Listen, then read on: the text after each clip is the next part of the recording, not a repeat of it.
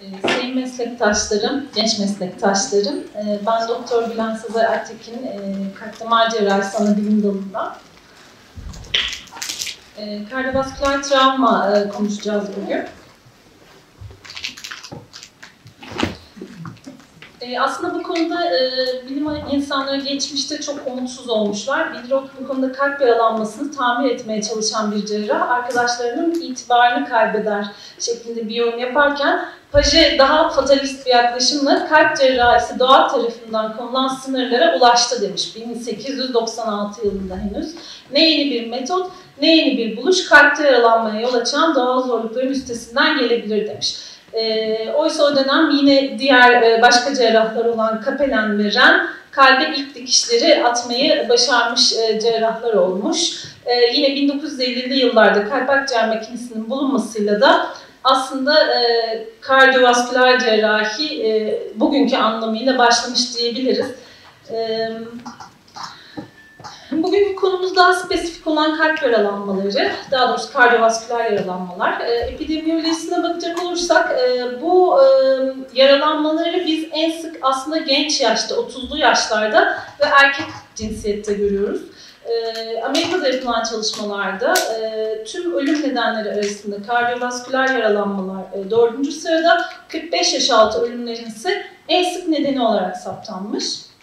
Bu yaralanmaları üç grupta inceliyoruz. Penetran yaralanmalar. E, penetran yaralanmalar en sık gördüğümüz grup. Bunlar ne? E, kesici delici alet yaralanmaları, ateşli silah yaralanmaları.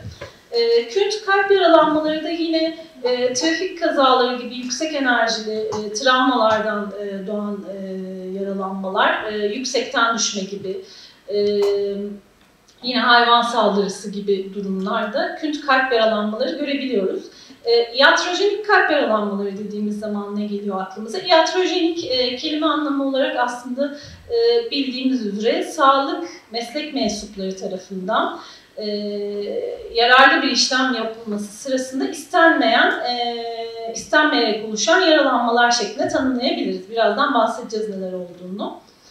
E, penetran kalp yaralanmaları, e, öncelikle bundan bahsedelim. Göğsü olan penetran yaralanmalarının %6'sı kalp yaralanması. Aslında çok fazla değil. Yani göğüs kafesine, toraksa e, gördüğümüz yaralanmaların aslında %6'sı. Ama neden önemli? Bunların çoğu e, mortal seyrediyor. Yani %50'sinde mortalite söz konusu ve erken e, tanı tedavi çok önemli bu yaralanmalardan şüphelendiğimizde.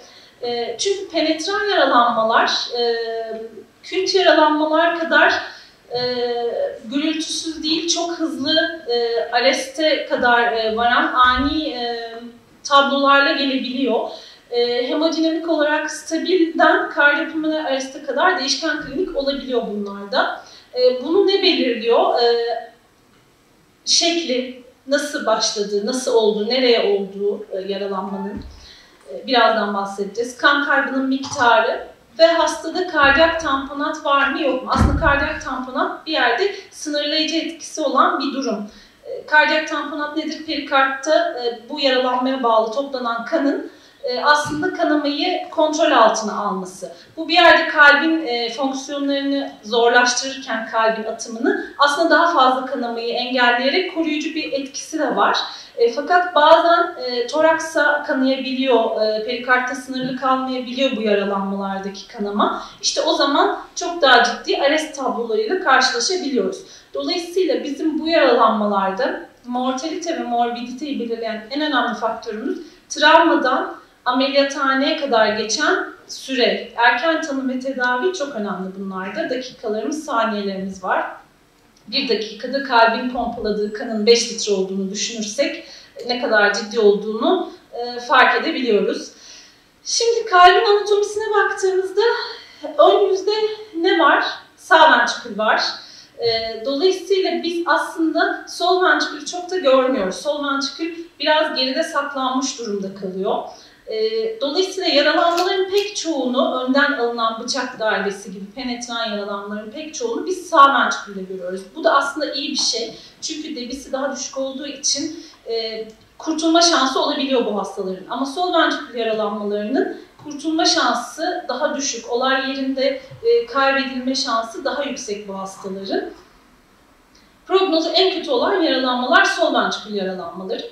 Yine e, sağ ventrikülü takiben sol ventrikül, daha az olarak da aort pulmoner arter, atrium ve vena cava yaralanmalarını görüyoruz. Penetran kalp yaralanmalarında daha nadir de olsa. Burada ekokardiyografi, hastaya yapacağımız ekokardiyografi e, bizim için aslında altın standart e, tanı yöntemi diyebiliriz. Fakat biz bu hastalarda göğüse nafiz bir yaralanmada hemodinamik instabilitesi varsa, klinik şüphemiz varsa herhangi bir görüntüleme yapmaya da biliriz hastayı ameliyathaneye almak için yüksek klinik şüphe durumunda. Çünkü burada az önce söylediğimiz gibi dakikalarımız var sadece ve bu zamanı çok iyi değerlendirmemiz lazım. Hemodinami bizim için bu hastalarda en önemli parametre.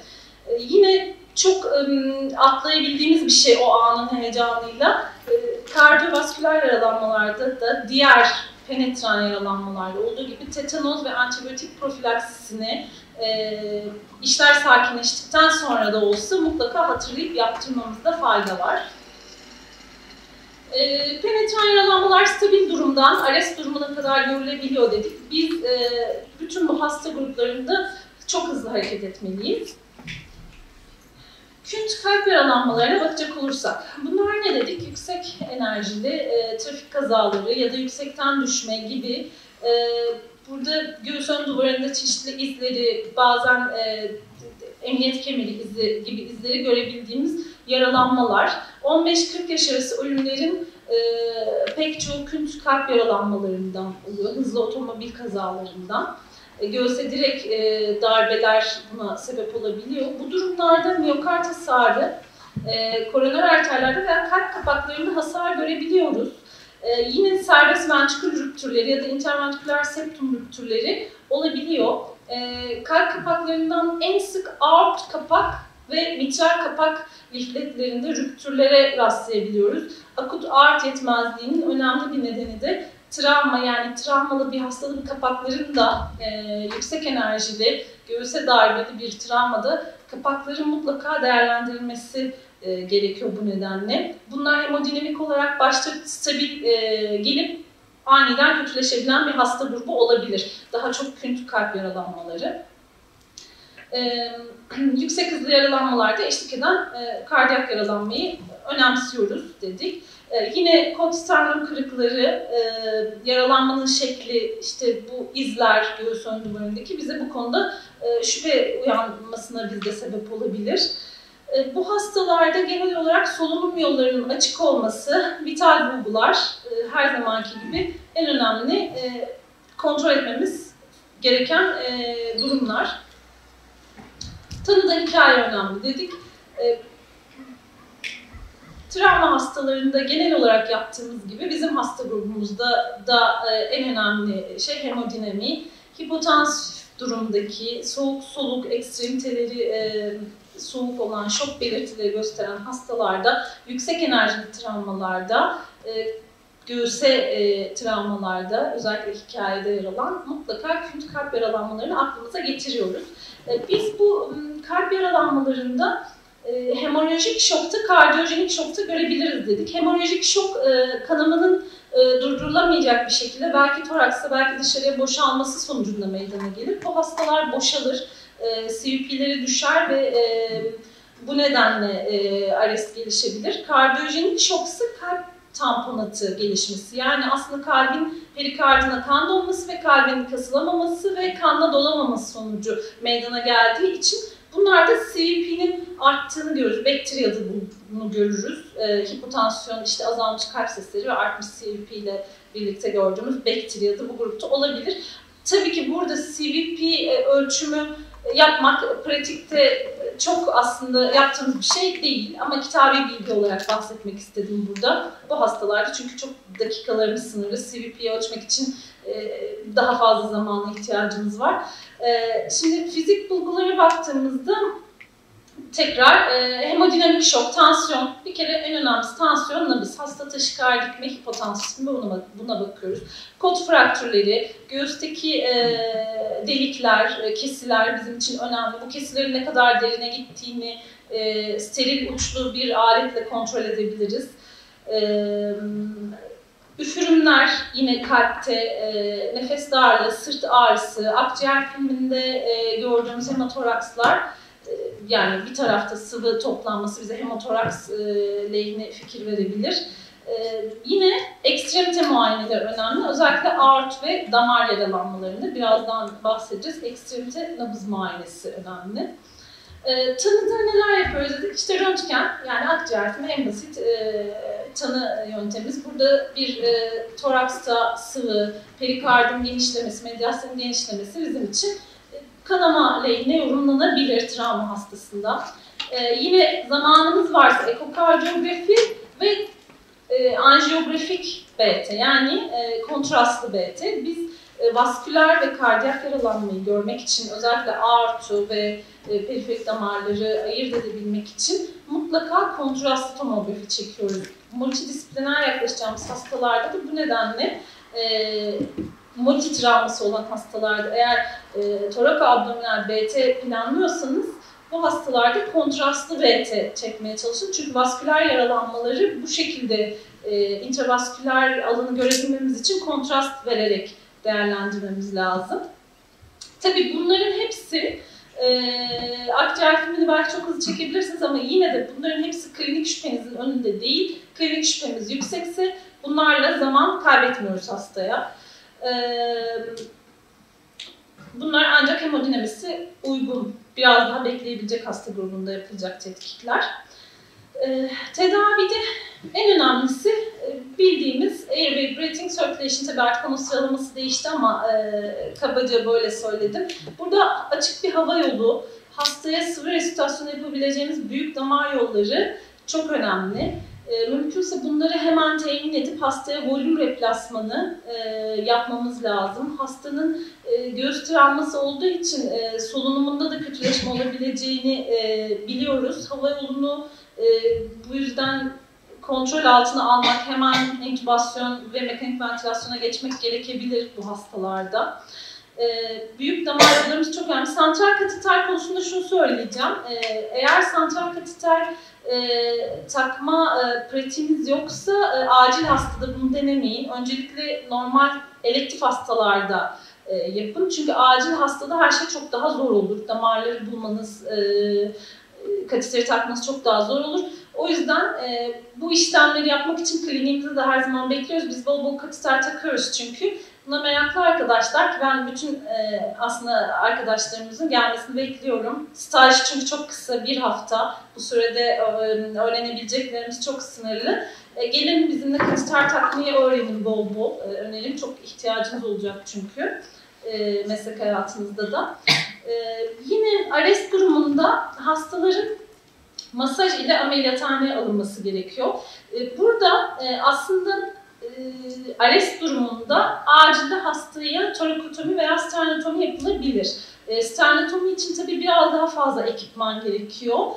Sternotomi daha çok ameliyathanede yaptığımız bir şey ama acil torakotomi yapılabilir. Fakat yine bu da kateter için söyleyeceğim şey bunu daha önceden yapmış olun mutlaka. O yüzden de bu tıp fakültesi hayatınızda hocalarınızın peşine takılın. E, işte torakotomi, sternotomi, bizlerden göğüs cerrahlarından mutlaka öğrenmeye çalışın. Benim önerim.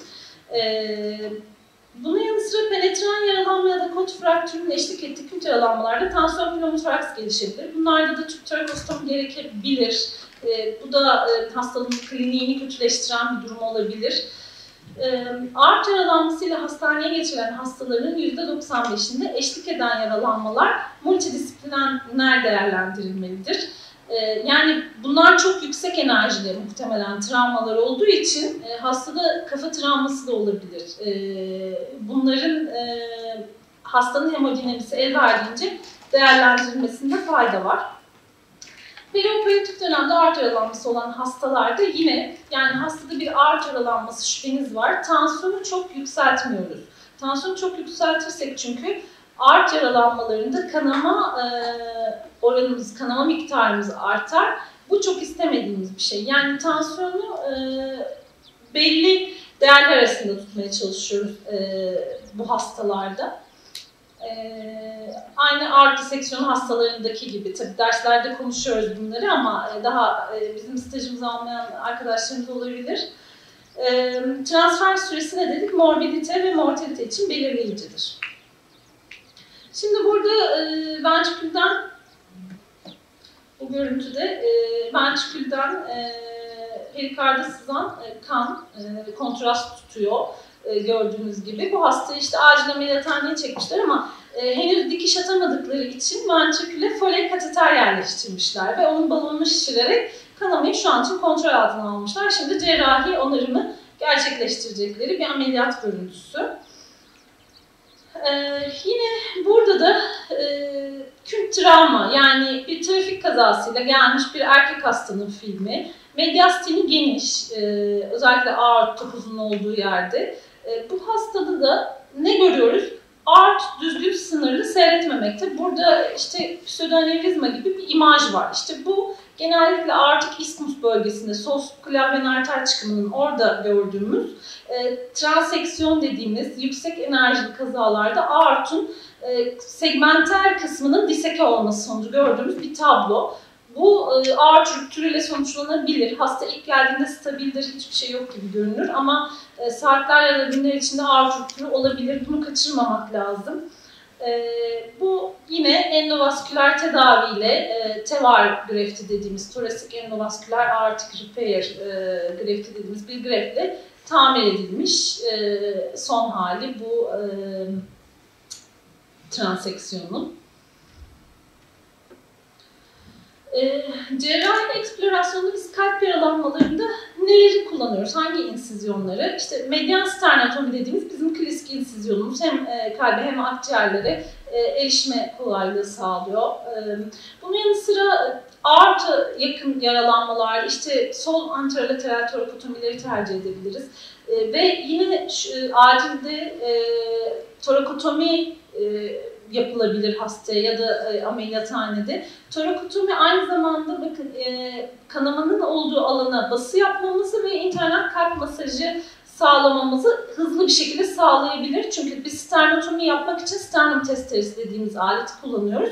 Torakotomide e, bisturi dışında çok e, ekstrem bir alete ihtiyacınız yok ekartör dışında. Bunu daha hızlı yapabilirsiniz. E, bu nedenle torakotomi bu hastalarda kanamayı kontrol etmek, tamponatı boşaltmak e, için ilk etapta uygulanabilecek bir kesi torakotomi. Kanama kontrol edildikten, hastanın hemodinamisi toparlandıktan sonra da e, diğer tamir işlemleri ameliyathanede yapılabilir.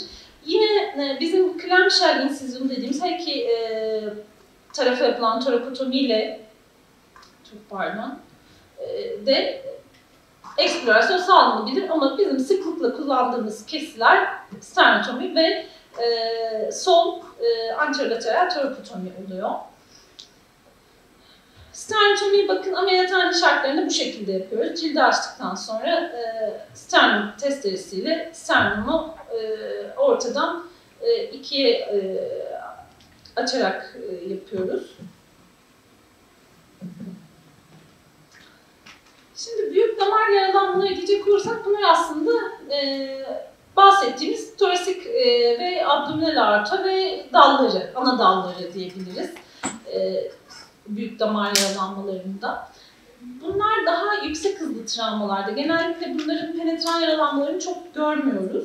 Daha çok tüm travmalarını görüyoruz. Trafik kazalarıyla görüyoruz bunları da. E, akut torasik aort yırtılmalarında hastaların çok azı, %10'u hayatta kalabiliyor. E, ve e, sivil travmaya bağlı büyük damar yaralanmalarının %85 penetran yolda gerçekleşiyor ama genelin içinde damar yani büyük damar yaralanmalarını daha az görüyoruz e, ventriküler yaralanmalarına göre. E, ağır rüptürü motorlu taşıtların insan hayatına girmesine kadar çok nadir olup 20. yüzyılın ikinci yarısından sonra daha sık görülmeye başlamış. İsmus bölgesindeki dokunun zayıflığından dolayı daha çok ismus bölgesinde görüyoruz dedik ağır transeksiyonları ama desenden aortada da görebiliriz kült e, yaralanmalarda. Yine bu hastalarda multidisipliner e, yaklaşmakta fayda var. E, vertebra kırıkları, kafa travmaları beraberinde eşlik edebiliyor bunlara. Onları da değerlendirmekte fayda var. Şimdi desenden ağır yaralanmalarında biz e, ne yapıyoruz? E, önceden açık cerrahi tamir yöntemleri tabii e, yapılıyordu. Bunlar çok büyük insizyonlarla yapılan, e, burada şekilde görüldüğü gibi e, skapuladan başlayıp e, anterolateral torakotomi ile e, batın e, orta hat insizyonuna birleştirilen e, kesilerle artı yukarıdan aşağı torakstan abdomeni eksplore edebiliyorsunuz ama çok zor e, operasyonlar bunlar. O yüzden bunların mortalitesini artık bugün endovasküler greftlerle, torisik endovasküler greftlerle e, aşmaya çalışıyoruz. Daha az riskli e, uygulamalar yapılabiliyor desenden ağır cerrahlanmalarına. Tabii bunlar e, eğer penetransa olay yerinde kaybedilme ihtimalleri çok yüksek ama bu tarz e, diseksiyon, transeksiyon gibi lokalize kün travmalarda gelme şansları daha yüksek bu hastaların. Yine ağır yaralanmalarında ya da büyük damar yaralanmalarında bakın reboa denilen e, intraaortik bir balon var kanamayı kontrol altına alan. Şu alanda görmüş olduğunuz bütün kanamayı bu balon kateterle eğer yerleştirebilirseniz kontrol edebiliyorsunuz. Bunu e, Seldinger yöntemiyle e, femoral arterden yerleştirebiliyoruz. Kanamayı bir miktar kontrol altına alıyor en azından ameliyathaneye kadar geçen sürede. E, eğer yaralanma ascending aort bölgesindeyse tabii bu açık kalp ameliyatı gibi e, aynen kardiyopulmoner bypass ve total sirkülatör arrest altında e, bile yapılması gerekebilen e, işlemler olabiliyor. Peki periferik vasküler yaralanmalara baktığımızda tüm travmaların yaklaşık %2-3'ünü vasküler travmalar oluşturuyor ve %50-90 yine kardiyak kökenlilerde söylediğimiz gibi kalp yaralanmalarının burada da yine penetran yaralanmalar en sık neden. Fakat bu tabi Kuzey Avrupa ülkelerinde daha farklı görülmüş. Yani e, daha gelişmiş ülkelerde ateşli silah yaralanmaları, bıçaklanmalar daha az. Yüksekten düşmeler, işte intihar e, gibi e, yüksekten düşmeler, e, trafik kazaları gibi tüm travmalar daha fazla e, görülmüş onların istatistiklerinde. Fizik muayene yine periferik vasküler yaralanmalarda yeterli. Burada ne görüyoruz? Aslında ekstremite arterleri burada bahsettiğimiz. Ekstremitede bir yaralanma olduğunda zaten kanamayı gözle görebiliriz. Bunun dışında hiçbir şey görmeyebiliriz. Hematom olabilir o bölgede. E, gittikçe büyüyen pulsatil bir hematom olabilir. Ya da hasta çok kanamış olduğunu ifade ediyor olabilir evde. O an kanamıyordur. Belki damar tromboze olmuştur size geldiği sırada. Ama hastanın e, hikayesine kulak vermek lazım burada mutlaka. Hasta eğer evde çok kanatılıyorsa, üstü başı çok kan içindeyse arteriyel bir kanamadan da yine şüphelenmekte fayda var. Bir oje alanı e, çok şüphemiz varsa eksplore etmekte fayda var. Yine sadece kanama değil, ekstremitede iskemi de tabii tam kat kesildiği zaman iskemi de göreceğiz. E, ekstremite iskemi bulgularımız nelerdi? E, işte tipik e, stajda hep bahsettiğimiz ağrı, nabızsızlık, soğukluk, solukluk, bazen motor kayıp gibi bulgular görebiliyoruz ekstremite damar yaralanmalarında. Yani kanama ve iskemi bulgularını görebiliyoruz. Ee, bunu yine Doppler ultrasonografi yardımıyla görüntüleyebiliriz eğer e, tam e, tanımızı doğrulayamadıysak. E, yine kemik fraktürleri ile birlikte olan e, kült travmalarda ya da daha komplike yaralanmalarda da anjiyografik görüntüleme aslında e, gerekebilir. Yine burada da kalp yaralanmalarında söylediğimiz gibi hastanın hemodinamisi el veriyorsa bu görüntülemeleri yapabilirsiniz. E, venöz yaralanmalarda e, venler e, arterlere göre daha vücudun tolere ettiği, bağlanarak da yani irrigate edilerek de kanaması durdurulabilen e, kolaterallerle e, dolaşımın devamını sağlayan bir damar oluşumu. Venöz yaralanmalar ancak arterler gibi kolay tromboz olmadığı için daha volümlü kanamalara da bazen sebep olabiliyor. Özellikle batın içi organlarda, batında e, olduğu zaman. Yine multidisipliner yaklaşım burada da önemli. Çünkü özellikle periferik vasküler yaralanmalarda biz e, ne diyoruz? Damar sinir paketi. Sadece damar yok orada, kemik var, sinir var. E, sadece damar dikmekle olmuyor her şey. burada ortopedi, e, beyin cerrahisi, plastik cerrahi gibi pek çok alanın birlikte e, çalışmasında fayda var ekstremitinin kurtarılması açısından. Burada önemli olan yalnız söyleyeceğim periferik vasküler yaralanmalarda birincisi hastanın hayatını kurtarmak asıl amacımız, ikincisi ekstremiteyi kurtarmak. Yani bazen e, ekstremiteyi ampute etmekte gerekebiliyor çok ciddi yaralanmalarda. E, tedavide amaç e, hemorojiyi en kısa sürede önlemek ve iskemiyi minimalize etmek burada sorunlu arter yani kanamayı eğer görüyorsak gördüğümüz bir yerdense üzerine direkt bası yapmak en güzel durdurma yöntemi yani kompresyonla ameliyathaneye götürmek. Ama çok büyük bir alansa ve e, durduramıyorsak basıyla turnike manşon uygulayabiliriz daha proksimaline. Fakat bunun da e, o ekstremiteyi iskemiye götürdüğünü unutmamak lazım. Yani biz o turnikeyi sıktığımız süre içerisinde ekstremiteye hiç kan gitmiyor. O yüzden eğer manşon bağlayacaksak bu süreyi çok kısa tutup e, hızlıca ameliyathaneye sevk etmek lazım hastayı. Yine büyük damarlarda az önce bahsettiğimiz işte o reboa, aortaya ya da foley kateter. Eğer elinizde balonunuz yoksa foley kateterde yine bir çözüm olabilir. E, aortun içine gönderilen. Foley kateterin biliyorsunuz balonu var. Balonunu şişirdiğiniz zaman tabi her zaman aort kadar geniş bir balonu olmuyor ama e, daha ince yapılı hastalarda belki fayda sağlayabilir elimizde hiçbir şey yoksa.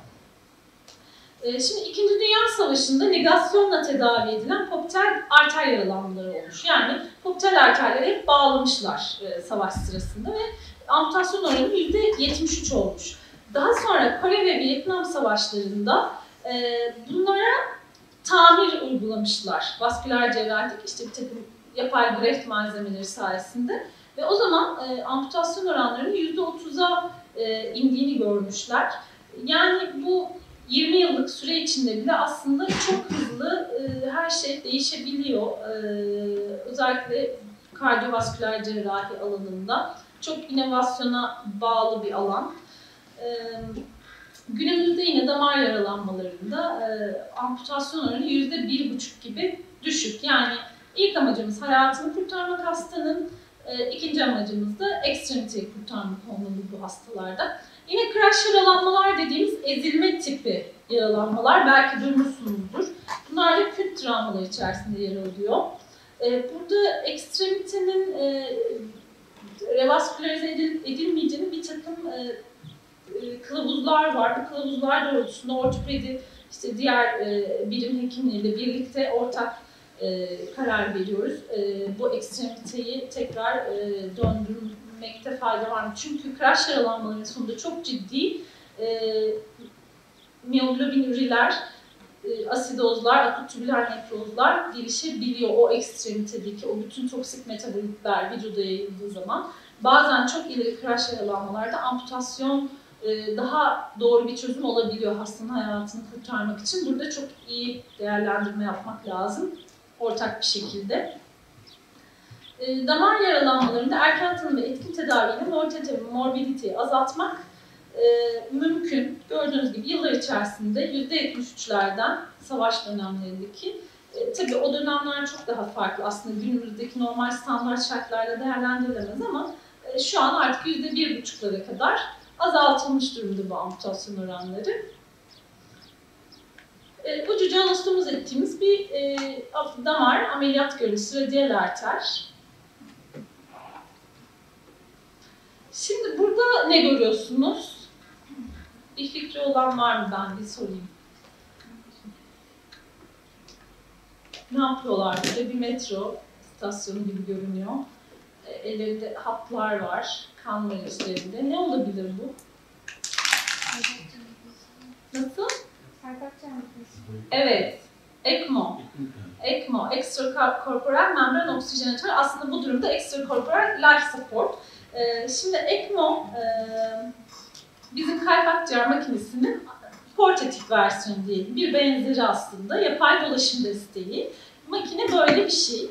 Ee, bizim bakın bir de müzede yapmışlar bu uygulamayı. Arrest olan hastalara e, CPR ileri yaşam desteğinin bir e, parçası bu. E, yavaş yavaş e, bazı ülkelerde yapılmaya başlandı. Henüz bizim ülkemizde e, hayata geçmedi. Bizim yoğun bakımımızda da ECMO var. Ee, ama şu an için işte kalp akciğer yetmezliği için ülkemizde kullanılıyor. Yani postkardiyojenik veya işte e, solunum yetmezliği gibi durumlarda şu an kullanılıyor. E, bu ECMO, e, arrest durumlarında helikopterle işte bir ECMO timi var. E, gidip e, hemen arrestin ilk dakikalarında hastaya bunu yerleştirebiliyor e, bağlayabiliyorlar. Bakın bu şekilde arter, benden e, kan alıp arterden veriyor ve hastanın dolaşımını bir şekilde sağlıyor. Aslında damar ve vasküler yaralanmalarda ve kalp yaralanmasında çok şu an yeri yok bunun ama e, ben bizim e, bölümümüzle ilişkili olduğu için bilin istedim. ECMO'da ileri yaşam desteği olarak ARES durumunda takılabilen bir e, cihaz yurt dışında bu başlamış yıllar içerisinde belki bizde de e, daha farklı uygulamalar olacak. Sırf ECMO'da çalışan belki hekimler olabilecek. E, bununla ilgili bir literatür var. E, burada kanamalı hastada yani kardiyovasküler yaralanmalı 10 hastaya acil durumda ECMO takmışlar. Bu neden zor? Çünkü kanayan hastada volüm olmadığı için bu ECMO cihazını nasıl döndüreceksiniz ya da heparin nasıl vereceksiniz gibi durumlar var. Heparin vermeden yapmışlar ve %60 oranında başarıları var. Bu da aslında gelecek vadeden bir şey. Güzel. E, bu tarz e, yeni çalışmalar var. Muhtemelen ileride daha çok göreceğiz e, ALES'lerde, işte CPR kılavuzlarında ECMO ile ilgili e, şeyleri. Şimdi son olarak bir de iatrojenik yaralanmalar dedik. Neydi? Sağlık meslek mensupları tarafından e, istenmeden yapılan şey, durumlar. Biz en çok, çok e, ne? Biz kendi yoğun bakımımızda da tabii yaptığımız işlemler e, ya da işte anjiyografiler, e, kardiyak kateterizasyonlar, diyaliz ve katite, santral kateter işlemleri sebep oluyor buna. Ne oluyor? Damarda işte e, pseudoanevrizmalar e, ve hematomlar oluşabiliyor damar çevresinde. Yine başka cerrahilerde de görülebiliyor. Özellikle onkolojik cerrahilerde, ortopedik ve omurga cerrahilerinde e, görülebiliyor damar yaralanmaları. Bunu bilmekte fayda var. E, çünkü bu hastalarda da postop süreçte hemodinamik bozulmadan şüpheleniyorsak mutlaka bir damar yaralanmasından şüphelenmekte fayda var. E, bu şekilde şimdi e, biz sıklıkla tabii koroner anjiyografi sonrası görebiliyoruz bunları en çok kliniğimizde. E, koroner anjiyografi sonrası işte femoral bölgeden yapılmış bir hasta bu gördüğünüz. Bakın böyle yaygın ekimoz var. Altında şurada bir şişlik var. Anjiyo görüntüsünde de bakın pseudoanevrizma var. Femoral arterden, süperfisiyel femoral arterden kaynaklı. Pseudoanevrizma dediğimiz şey aslında damar değil fakat bağ doku tutuyor çevresini sadece. Ee, ve buhara rüptürü olabilir, diktikçe büyüyen bir bomba var orada aslında. Bunu açıp temizleyip bu damarı tamir ediyoruz açık bir şekilde. Bazen de e, girişimsel radyolog arkadaşlar işte buraya bir takım e, pıhtılaştırıcı şeyler e, enjekte edip kapanmasını sağlayabiliyor ya da ultrasonla bası yöntemiyle kapatabiliyorlar.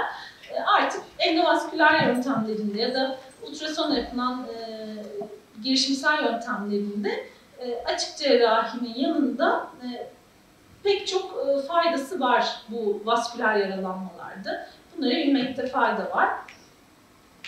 E, son slaytım. Burada da bir takım işte kateter yaralanmalarında neler oluyor ondan bahsedeceğim. Yanlış yerleştirilmiş santral kateterler var. Bakın bu da bize dışarıdan gelen bir hastanın görüntüsü. Şu görmüş olduğunuz işte sol sklav, daha doğrusu bu soldan gelen innominate veni hastanın yani e, sol jugüler ve sol sklavyen venin e, birleşip sağa döküldü. Innominate venden kateter dışarı çıkmış. Bakın toraksa e, da boşlukta duruyor bu kateter. Biz bu kateteri çekip girişimsel radyoloji ile birlikte buraya coil yerleştirdik ve herhangi bir kanaması olmadan bu hastayı taburcu ettik. Dış merkezde kateter takılmış bir hastaydı. Ee, bu yöntemler bize tabii hastaları ne yapacaktık eğer girişimsel radyolojiyle bu işlemi yapamasak? Belki sternotomi yapmak gerekecekti. Ee, genel anestezi vermek gerekecekti bu hastaya. Zaten diyalize giren e, yaşlı bir hastada çok mortal olabilirdi. O yüzden girişimsel yöntemleri açık olmakta fayda var. E, bunlar bazen hayat kurtarıcı olabiliyor. E, tabii bunları yaparken de işte e, özellikle kateter işlemlerini yaparken dikkat etmek lazım. Bakın bu da pneumotoraks olmuş bir e, kateter imajı. Kateter yerinde ama belki fonksiyon yaparken bir pneumotoraks oldu. Yine bu da yanlış yere gitmiş bir kateter. Normalde e, sağ jugülerden takılan kateterin daha doğrusu hepsinin sağ tarafta kalmasını bekleriz vena cava superior'da. Bu kateter de yine ters tarafı dönmüş. E, burada da bakın kateter takılmış e, sol jugülerden e, görebiliyor musunuz beyazlığı? Biraz zor görünüyor herhalde değil mi? E, buradan takılmış. Biz kateteri taktıktan sonra yeri mutlaka kontrol ederiz akciğer filminde. Yani e, medyastenin sağında kalması gerekir kateterin. Çünkü vena cava superior medyastenin sağında seyrediyor. Burada sola gitmiş bu kateter. E, yapılan anjiyografide de görülmüş ki bu karotis'e takılmış. Tabi bu çok e, mortal olabilir. Hastada da nörolojik defisitle de sonuçlanabilir. Burada bir pseudoanevrizma görünüyor. E, bu tarz görüntülerde asla bu kateterleri hemen çekmeyin. Böyle bir şey görürseniz yanlış takılmış bir kateter. Çünkü bunu çekerseniz e, kontrol edemeyeceğiniz toraks çıkanamalar olabilir. Mutlaka e, danışın veya ameliyathanede e, çekilecek e, durumda hastayı hazırlayın. Çünkü çok ciddi hazırlıklı alınmazsa bu hastalar çok ciddi kanamalar görülebilir bunların sonunda. İyi bir sempozyum geçirmeniz dileğiyle. Teşekkür ederiz.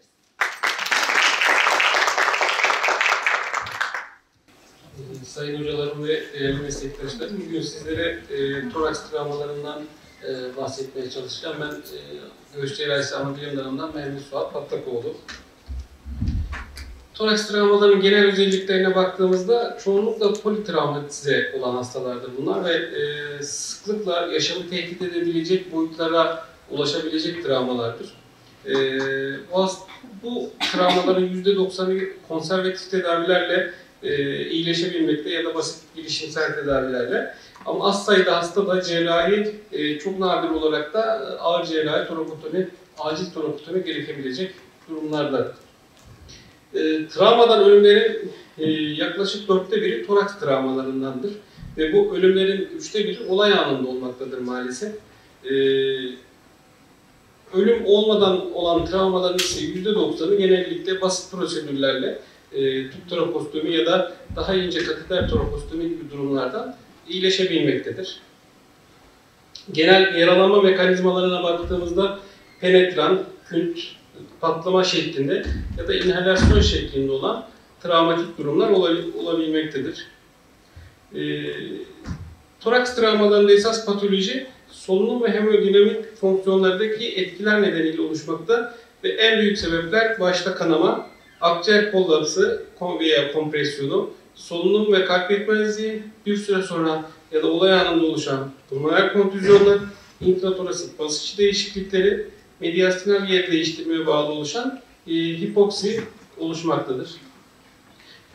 Toraksın e, kısaca anatomisine baktığımızda birincisi kemik yapılardan oluşmaktadır. E, göğüs kafesi e, ve içerisindeki organlardan. Göğüs kafesini önce sternum, yanlarda 12 çift kaburga ve eşlik eden e, kartilajları, arkada da 12 vertebra var, e, vertebral disklerden oluşmaktadır. İçerisinde yaralanabilecek organlar farenks, larynx, trakea, bronşlar, akciğerler, plevra, diyafragma, kalp, vasküler yapılar ve özofagus olarak sayabiliriz. Bu e, toraksta yaşanabilecek travmaların genel bir e, sınıflandırılmış hali. Yani oluşabilecek travmalar birincisi göğüs duvarından kaynaklanabilecek travmalar. E, bu basit kot fraktürlerinden akciğer herniyasyonuna kadar oluşabilecek ağırlıkta oluşabilecek durumlar sayabiliriz. İkincisi plevral yaralanmalar. Bunlar en sık gördüğümüz travma çeşitleri olabilir. Pneum, basit pneumotorakstan tansiyon pneumotoraksa, e, hemotoraksa kadar oluşabilecek yapılar vardır, e, durumlar vardır. Üçüncüsü akciğer yaralanmaları. Bunlar da en sık gördüğümüz akciğer kontüzyonları. E, dördüncüsü hava yolu travmaları. E, larynx, trakealar ya da e, trakeoözofajiyel e, olaylar gibi durumlardır. Beşincisi diyafragma yaralanmaları, mediastan yaralanmaları, e, özofagus yaralanmaları, kardiyak yaralanmalar, toraksik aort ve büyük damar yaralanmaları olarak e, sayabiliriz. Tanıda e, yardımcı olan tetkiklerimiz direkt akciğer grafisinden başlar. En sık kullandığımız tomografi e, ile devam eder. Gerekli durumlarda ultrasonografi, e, bazen bronkoskopi, anjiyografi, gerekirse troposkopiye kadar gidebilecek tetkiklerimiz vardır. Biz toraks travmalarını üç şekilde e, ölümcül olarak değerlendirebiliriz. Birincisi hızlı öldüren toraks yaralanmaları, ikincisi potansiyel ölümcül toraks yaralanmaları, üçüncüsü de genellikle ölümcül seyretmeyen toraks yaralanmaları olarak değerlendirebiliriz. İlki e, hızlı öldüren toraks yaralanmaları bunlar mutlaka e, ilk bakıda, ilk e, muayenede tespit ve aklımıza gelmesi bir durumlar olarak düşünmeliyiz. E, hava yolu obstrüksiyonları bunlar, tansiyon pneumotoraks, açık pneumotoraks, masif hemotoraks, plate chest ya da yelken göğüs ve kardiyak tamponat olarak sınıflandırabiliriz. İkincisi potansiyel ölümcül olabilecek toraks yaralanmaları ki bunlar e, bir önceki muayenemizde olmayan ama daha sonra aklımıza gelmesi gereken ya da takip sırasında düşünebileceğimiz durumlar ki bunlar aort diseksiyonu, miyokard kontüzyonları, trakeobronşiyel yırtılmalar, özofagus perforasyonlar, akciğer kontüzyonları ve diyafragmatik yırtıklar.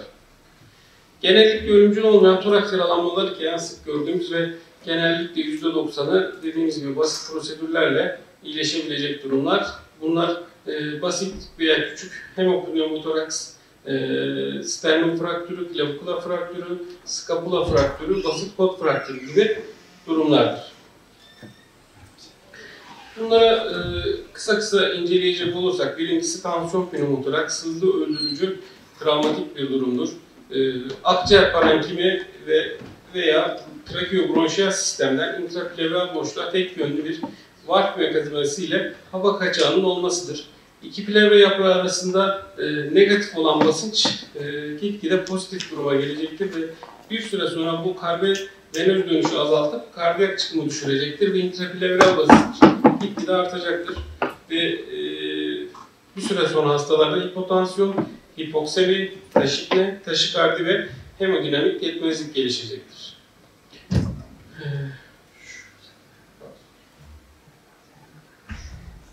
Sanırım e, şey oynamıyor, mouse oynamıyor ama e, sağ tarafta grafide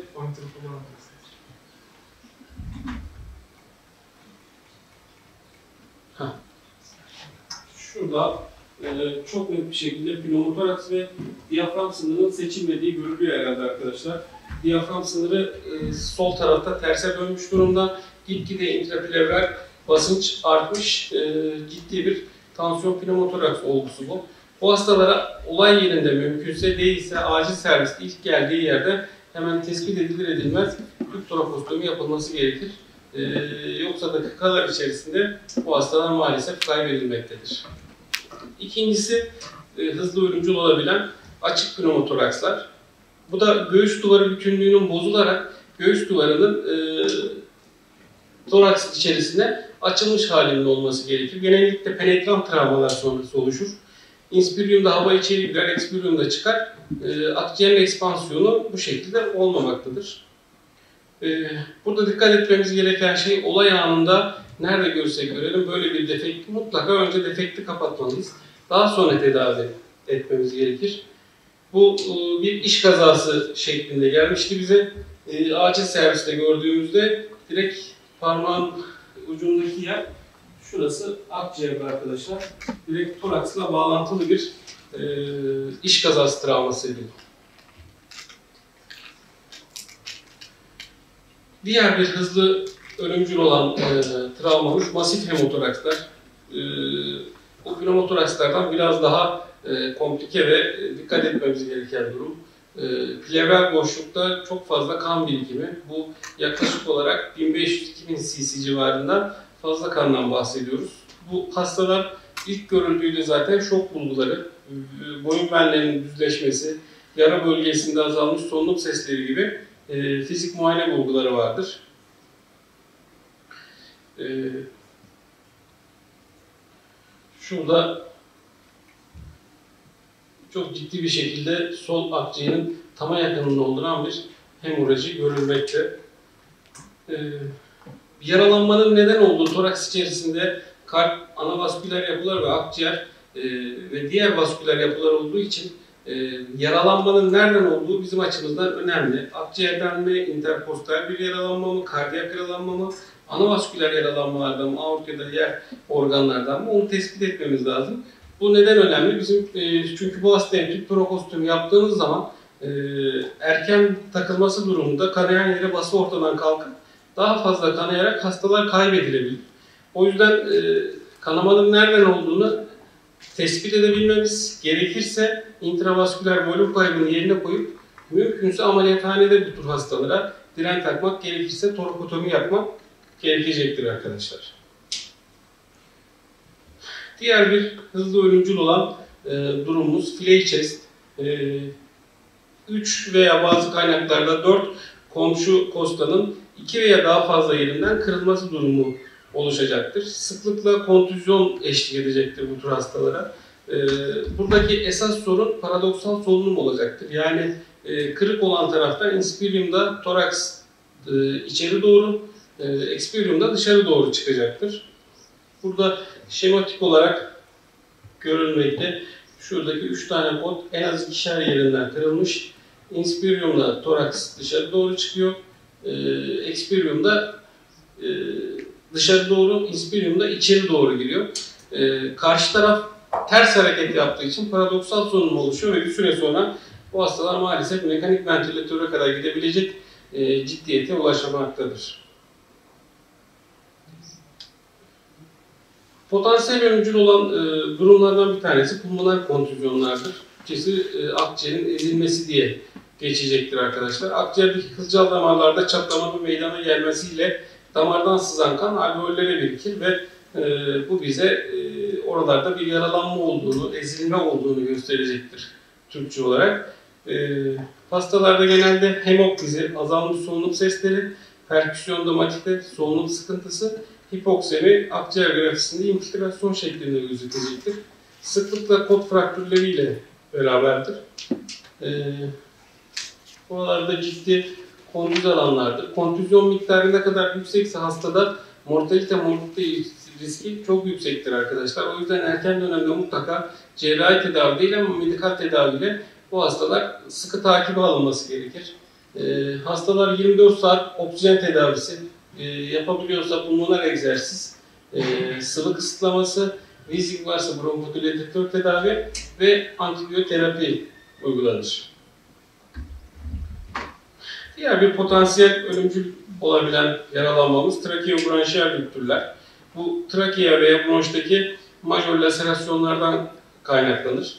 Ee, eğer bu hastalarda pneumotoraks ya da başka bir durum için tüp takıldıysa, tüpe rağmen kaçak düzelmiyorsa e, bunlardan tespit edilir. Trakeobronşiyal yaralanma tespit etmesi maalesef çok zor bir durumdur arkadaşlar. Ciddi cilt altı amfisem tüplere rağmen, torakostomilere rağmen iyileşmiyorsa genellikle öyle şüphelenilir ve e, bronkoskopi altın standarttır tanı açısından. Eğer tespit edildiği anda da torakotomi ve cerrahi tamir mutlaka yapılmalıdır.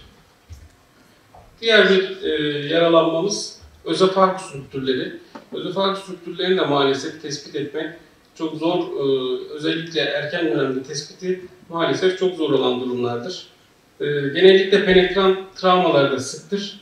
E, disfaji, derin göğüs ağrısı, subkutan veya mediastinal amfizem, e, pneumotoraks ya da plevral efüzyon varsa, tüp trokostomilere ya da cerrahi tedavilere rağmen iyileşmiyorsa mutlaka akılda bulundurulması gereken bir yaralanmadır. Şüphelenme durumunda anında hastaya özofagoskopi, e, direnen tüpü yoksa direniş için toraks tüpü geniş spenk durumlu antibiyotik uygulanır. Tespit edildiği anda da mutlaka cerrahi tedaviyle primer onarım yapılır. Diğer bir e, potansiyel ölümcül oluşabilecek durum diyafragma rüptürleri. E, özellikle sol taraf diyafragma rüptürleri e, tespiti daha kolayken sağ diyafragma rüptürleri karaciğerin engellemesi nedeniyle e, rüptürü tespit etmek biraz daha zordur. O yüzden klinik takip bu hastalarda çok önemlidir. E, abdominal organlar toraksla herniyasyon ile birlikte organın boğulması riski vardır bu tür hastalarda arkadaşlar. E, ayrıca e, organ yukarı çıktıkça, göğüs içerisine çıktıkça akciğere bası yapacaktır ve bu bir süre sonra solunum sıkıntısına neden olacaktır. Tanı doğrulaması dediğim gibi e, görüntüleme yöntemleriyle özellikle sağda zorken solda e, daha çok e, solid olmayan organların e, toraks içerisinde bağırsak veya mide görünmesi durumunda daha rahat tespiti vardır. Tedavi e, tespit edildiği anda laparotomi veya torakotomi ile takiptir. Burada gördüğünüz gibi mide ve bağırsak altları toraksın, sol toraksın içerisine doğru yer değiştirmiş durumda arkadaşlar. Ee, ölümcül olmayan genellikle basit tedavilerle geçiştirilen e, hastalıklarımız basit pneumotorakslar, sternum fraktürleri, klavikular fraktürleri ve basit kot fraktürleridir. Basit pneumotorakslarda e, e, kün travmalarda daha konservatif davranırken penetran e, travmalarda yani delici kesici alet ya da ateşli silah yaralanmasında mutlaka tüptrokostomi uygulaması yapıyoruz arkadaşlar.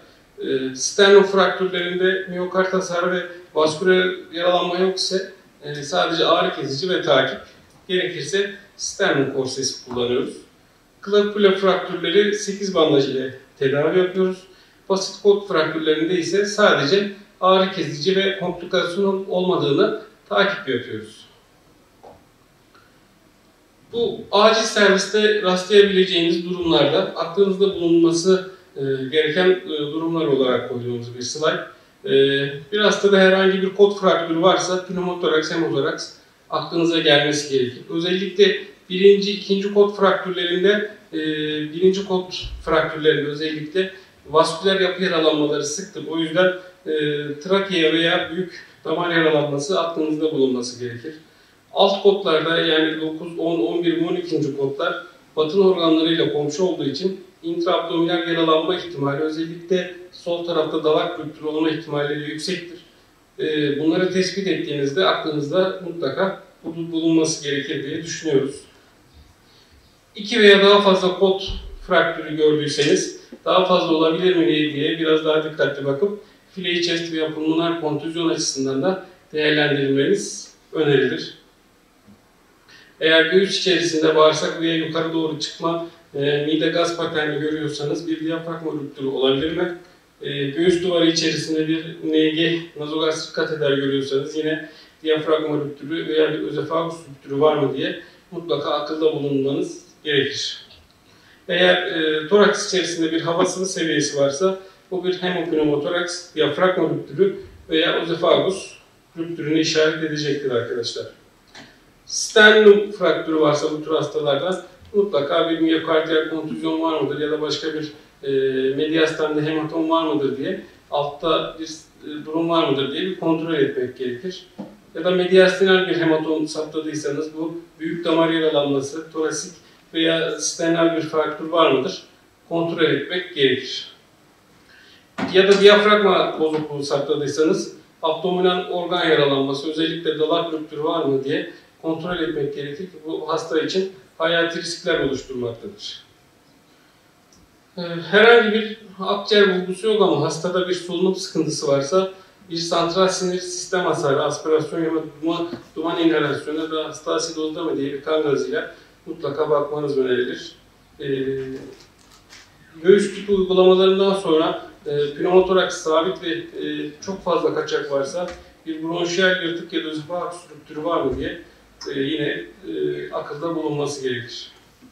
Mediastalde hava görüyorsanız e, özofajeal fistül, pneumoperitoneum veya trakeal hasar var mı diye kontrol etmek gerekir. E, skapula fraktürlerinde hava yolu ya da büyük damar yaralanmaları görme ihtimali vardır. Diyafram altında serbest hava görüyorsanız vatan içi organ bütünü var mı diye kontrol etmek gerekir. Teşekkür ederim.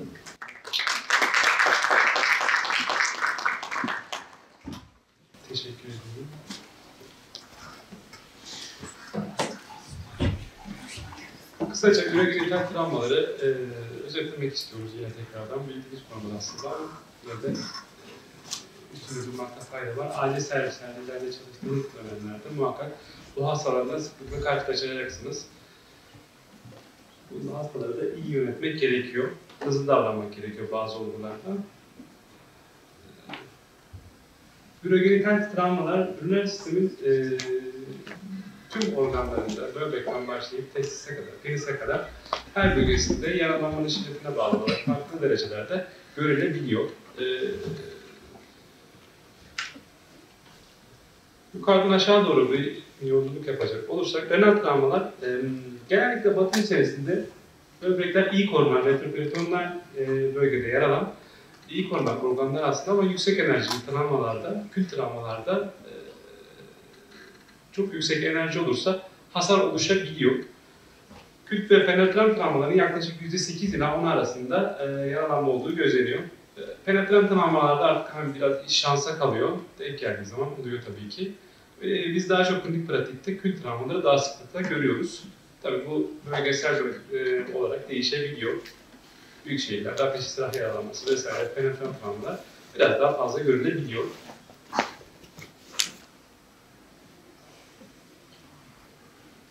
Renal travma niye önemli? Böbrek çok kanlanan bir organ maalesef. Ee, kült yaralanmalarda vesairede ciddi yan, e, hayati tehdit eden kanamalara yol açabilen travmalar gözükebiliyor. Ee, dediğim gibi kült travmalarda e, çarpışmanın şiddeti, işte yüksekten düşme olur, araç trafik kazası olur, araç dışı olur, e, çarpma olur, ağaçtan düşmeler görebiliyoruz. Bu tamamen olayın şiddetine bağlı ve hani hastanın düşüş pozisyonuna da bağlı olarak kül travmalarda yara, yaralanma görülebiliyor.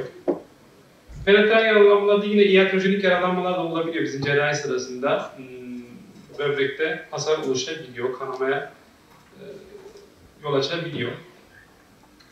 Peki biz renal travmalarda ne yapıyoruz? Tüm travmalarda olduğu gibi bizim için önemli olan hastanın e, vital bulgularını stabilize etmek, hemodinamiği stabil halde tutabilmek önemli olan e, hastayı stabil ettikten sonra hayati bir şey yoksa bir sonraki aşamada fizik muayene sonrası görüntüleme yapmak istiyoruz. Rutine de binmiş durumda. Tomografinin yaygınlaşmasıyla beraber, ulaşımın kolaylaşmasıyla beraber ultrason artık çok kullanılmıyor.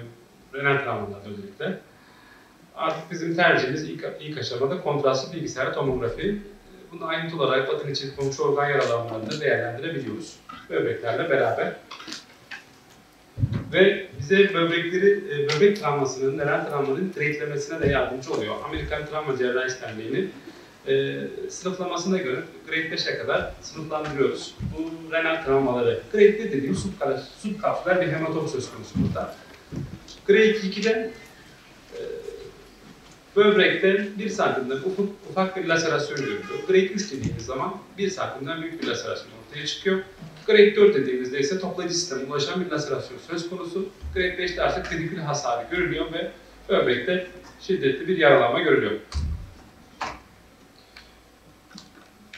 Burada grade 4 gibi sisteme muhtemelen açılmış bir hasar gözüküyor. Görüntülerde. Yine bir parçalanmış böbrek neredeyse. Bu grade 5'tir muhtemelen. Renal tepkini net değerlendiremiyoruz.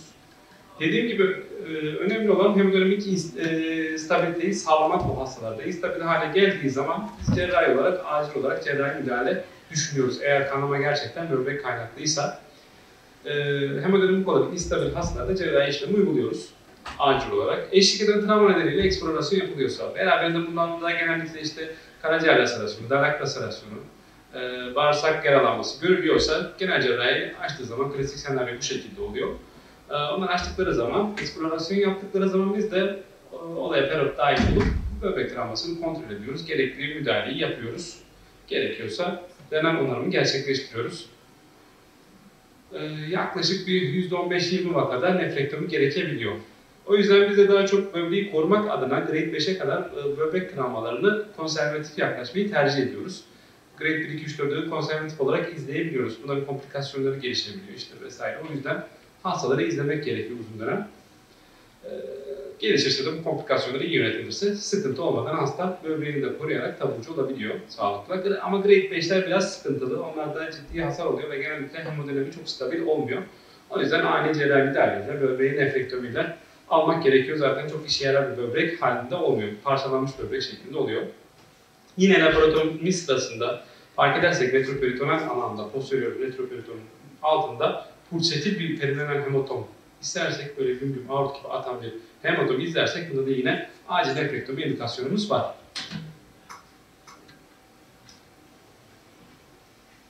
Peki dedik ya bunları konservatif izlemek istiyoruz biz çoğunlukla böbreği korumak adına. Çünkü e, nefrektomi yaptığımız zaman, e, şey eksplorasyon yaptığımız zaman nefrektomi ihtiyacı olabiliyor. Böbrek çünkü retroperitoneal alan kendi kendini sınırlayabilen bir alan. Kanama hematom olduğu zaman belli bir şeye kadar e, ulaşıyor ve hematom artık basmaya başlıyor ve tampon görevi görerek kanamayı sınırlandırıyor. Batın içi gibi değil. Peritonun içi sonsuz neredeyse şey alabiliyor, e, ciddi kanarsa.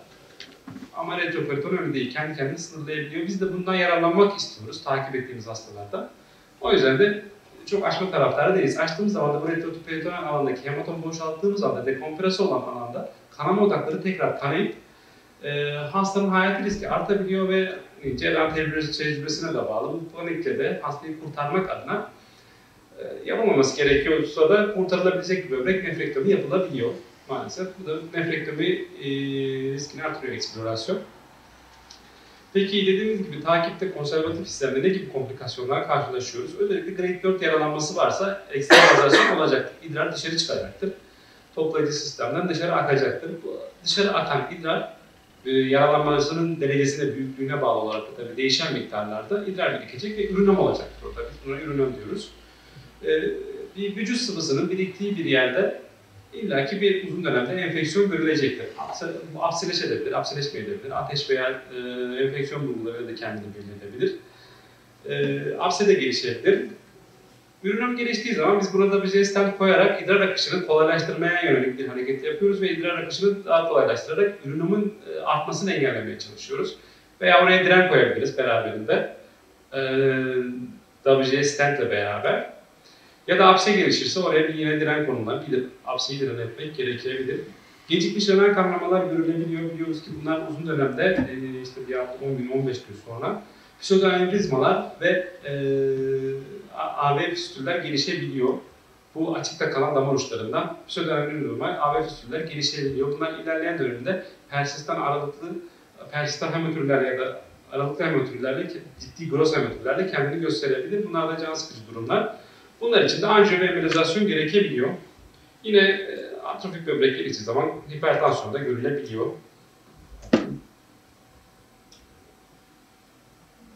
Üreteral travmalar ise çok daha nadir ince yapıda organlar olduğu için üreterlerimiz 3 milim kalınlığında bir organ, e, lümenli bir organımız. Çevresindeki kemik yapılar, kaslar ve diğer organlar tarafından çok iyi korunuyor. Bu yüzden hani akut travmalar dayanılması oldukça zor, çok çok çok çok nadir. Daha çok biz internal travma dediğimiz iatrojenik yaralanmaları görüyoruz sıklıkla. Bunlar batın cerrahisinde e, cerrahinin zorluğuna göre cerrahinin zorluğuna göre e, karşılaşılabilen durumlar, e, cerrahın tecrübesine de bağlı, bakanın zorluğuna da bağlı, birçok faktöre bağlı maalesef. E, olabiliyor, komplikasyon durumları olabiliyor. E, jinekolojik ameliyatlarda, kolon, e, kolorektal cerrahilerde, bizim endoskopik cerrahilerimizde de görülebiliyor. Çok zorladığım zaman üre- üreter endoskopileri sırasında da üreterde yaralanmalar görülebiliyor. Yine sezaryen sırasında, arteriyel gref cerrahisinde ve laparoskopik girişimler esnasında üreterler kesilebilir, bağlanılabilir, e, farklı şekillerde yaralanabilir. Bunlarda olay intraoperatif fark edilirse büyük avantaj aslında. Erken dönemde müdahale ediliyor. Hasta e, olayın morbiditesini göstermeden erken dönemde tanı koyarsak biz üreteri bir şekilde onarmaya çalışıyoruz. İşte bağlandıysa gidip kalan birleştirebiliyoruz. Ya da yakıldıysa o kötü kalan dokuları devir edip, nekrotik dokuları devir edip kalan birleştirmeye çalışıyoruz. Yetişmediği zaman sıkıntılar olabiliyor üreterlere. Onun için farklı manevra teknikler var. Ee, böbreği indirmek gibi işte ototransplantasyon bile yapılıyor. Ee, lojdaki böbrek alınıp pelvise dikilebiliyor üreterin e, mesafesini kısaltmak adına farklı farklı teknikler yapabiliriz. Yani intraoperatif fark, fark ettiğimiz zaman olayı e, büyük avantaj sağlıyoruz. Ee, Peki geç fark edersek oldu ya cerrah fark etmedi, olayı üreter bağlandı ya da kesildi. Ne olacak bu hastada? Bu hastaların genellikle bir direni oluyor. Özellikle kesildiyse direnden şiddetli bir akıntı olacak. Olan idrar olduğu gibi batın içerisine akacak ve e, direnden gelecek. Diren çekildiyse daha büyük sıkıntı içeride birikecek bu sefer. İçeride birikmiş idrar peritonda iritasyon yaratır ve peritonite neden olur öncelikle. Sonrasında enfekte olacak bu belli biriken sıvı illaki e, ateş ve sepsise neden oluyor. Uzamış drenajda görülebiliyor diren varsa dedik. Direnin olması yine bir avantaj. Erken dönemde saptamak adına. Ee, üreter ligasyonunda ise klinik bulgu klasik olarak hani obstrükte bir üreter haline geliyor ve bu şiddetli renal koliye sebep olacaktır. Tamamen obstrükte bir böbrek oluyor çünkü. İdrar geçişi hiç yok. Ve şiddetli yan ağrısı. Ondan sonra bir ultrason yapıldığı zaman böbrekte ciddi hidronefroz saptanıyor ve olay kolayca e, ortaya çıkıyor. Yine ürünom nedeniyle de abdominal kitlelerde ele gelebilir ama o olana kadar daha farklı ağrı vesaire diye semptomlar ortaya çıkıyor.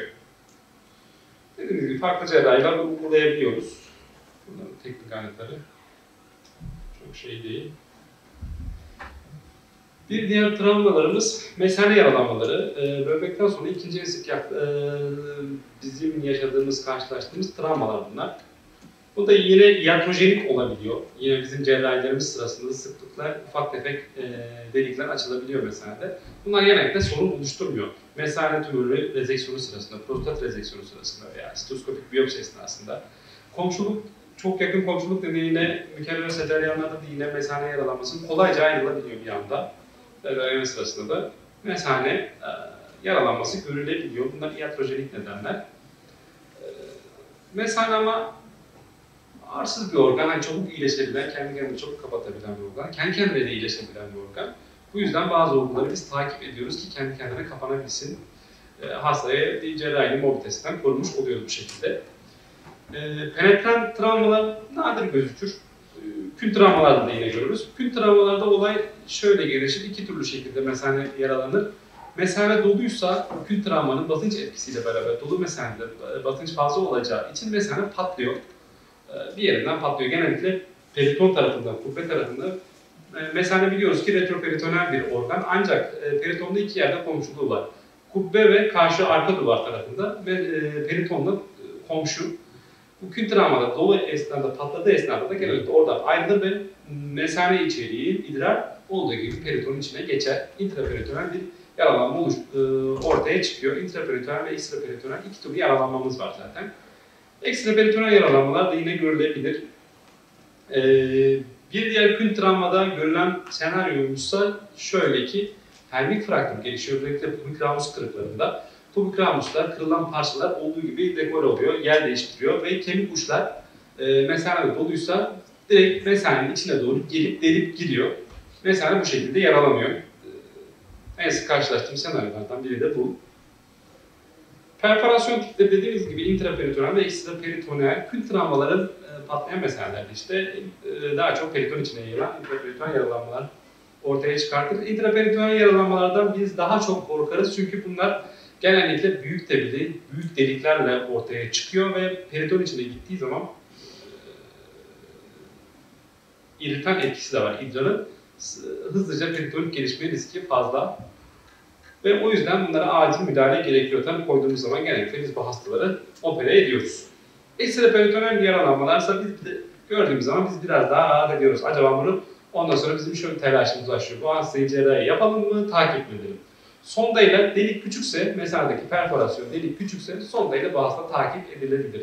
Takip edilir, ağrısı olmaz, retroperitoneal alanda bir ürünom görülmezse çok büyük e, ya da görülürse bile direnç olarak takip edilebilir. Ama delik büyükse, çok fazla idrar kaçışı oluyorsa ve üretren kateterden idrar gelmiyorsa bunlarda da yine cerrahi müdahaleyle açıklamalarım yapılabilir.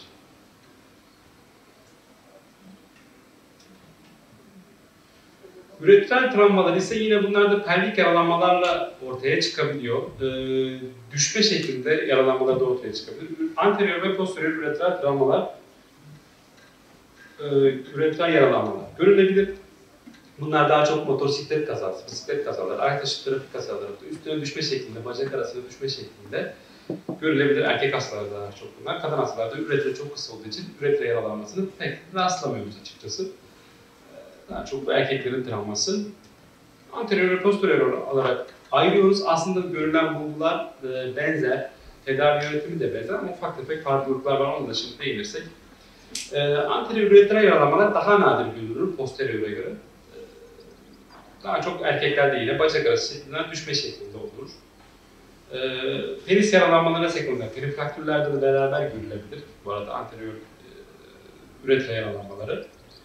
Yine üretra e, sondanın sonda takımı sonrası üretrada şişirilmesiyle beraber yaralanma görülebiliyor yine. Yine ateşli silah yaralanmalarında da e, anterior üretral yaralanmalar görülebilir.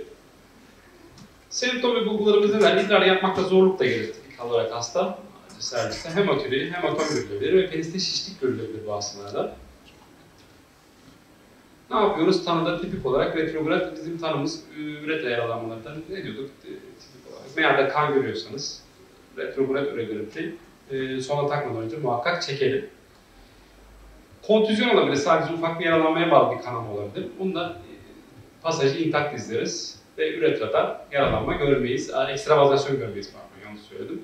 Parsiyel bir tür olabilir, hafif bir kaçak. Hem mesaneye geçiyordur ama hafif de ekstravazasyon vardır. Bu hastaları kesinlikle sonuna takmıyoruz çünkü parsiyel tür komple hale getirip işi komplike hale getirebiliriz.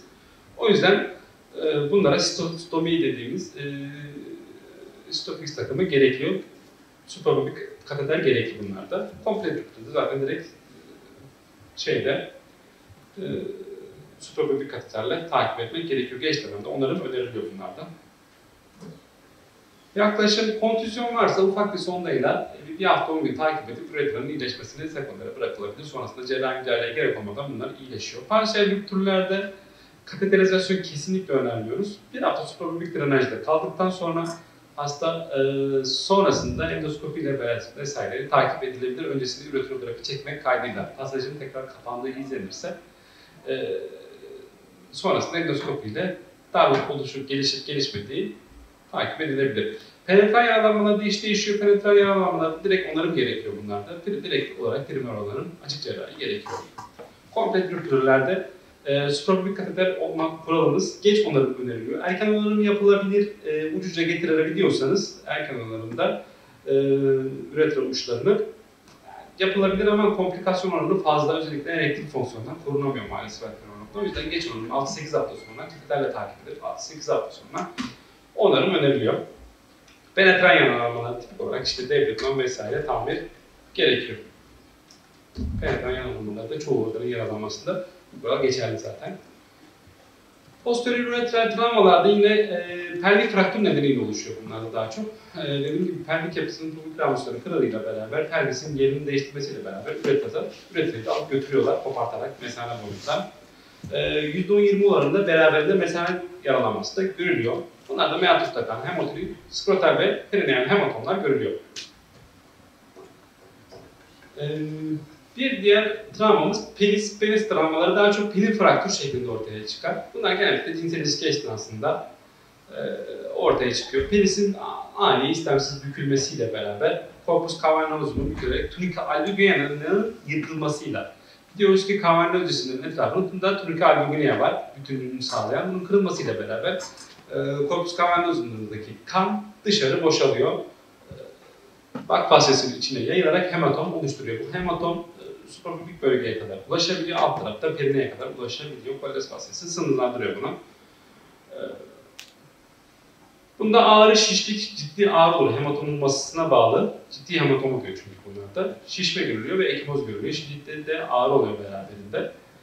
Peniste sağlam kavernoz kısmına doğru ilerliyor. Hematom da hasanlı tarafta oluyor hematom ve penis karşı tarafa doğru eğiliyor.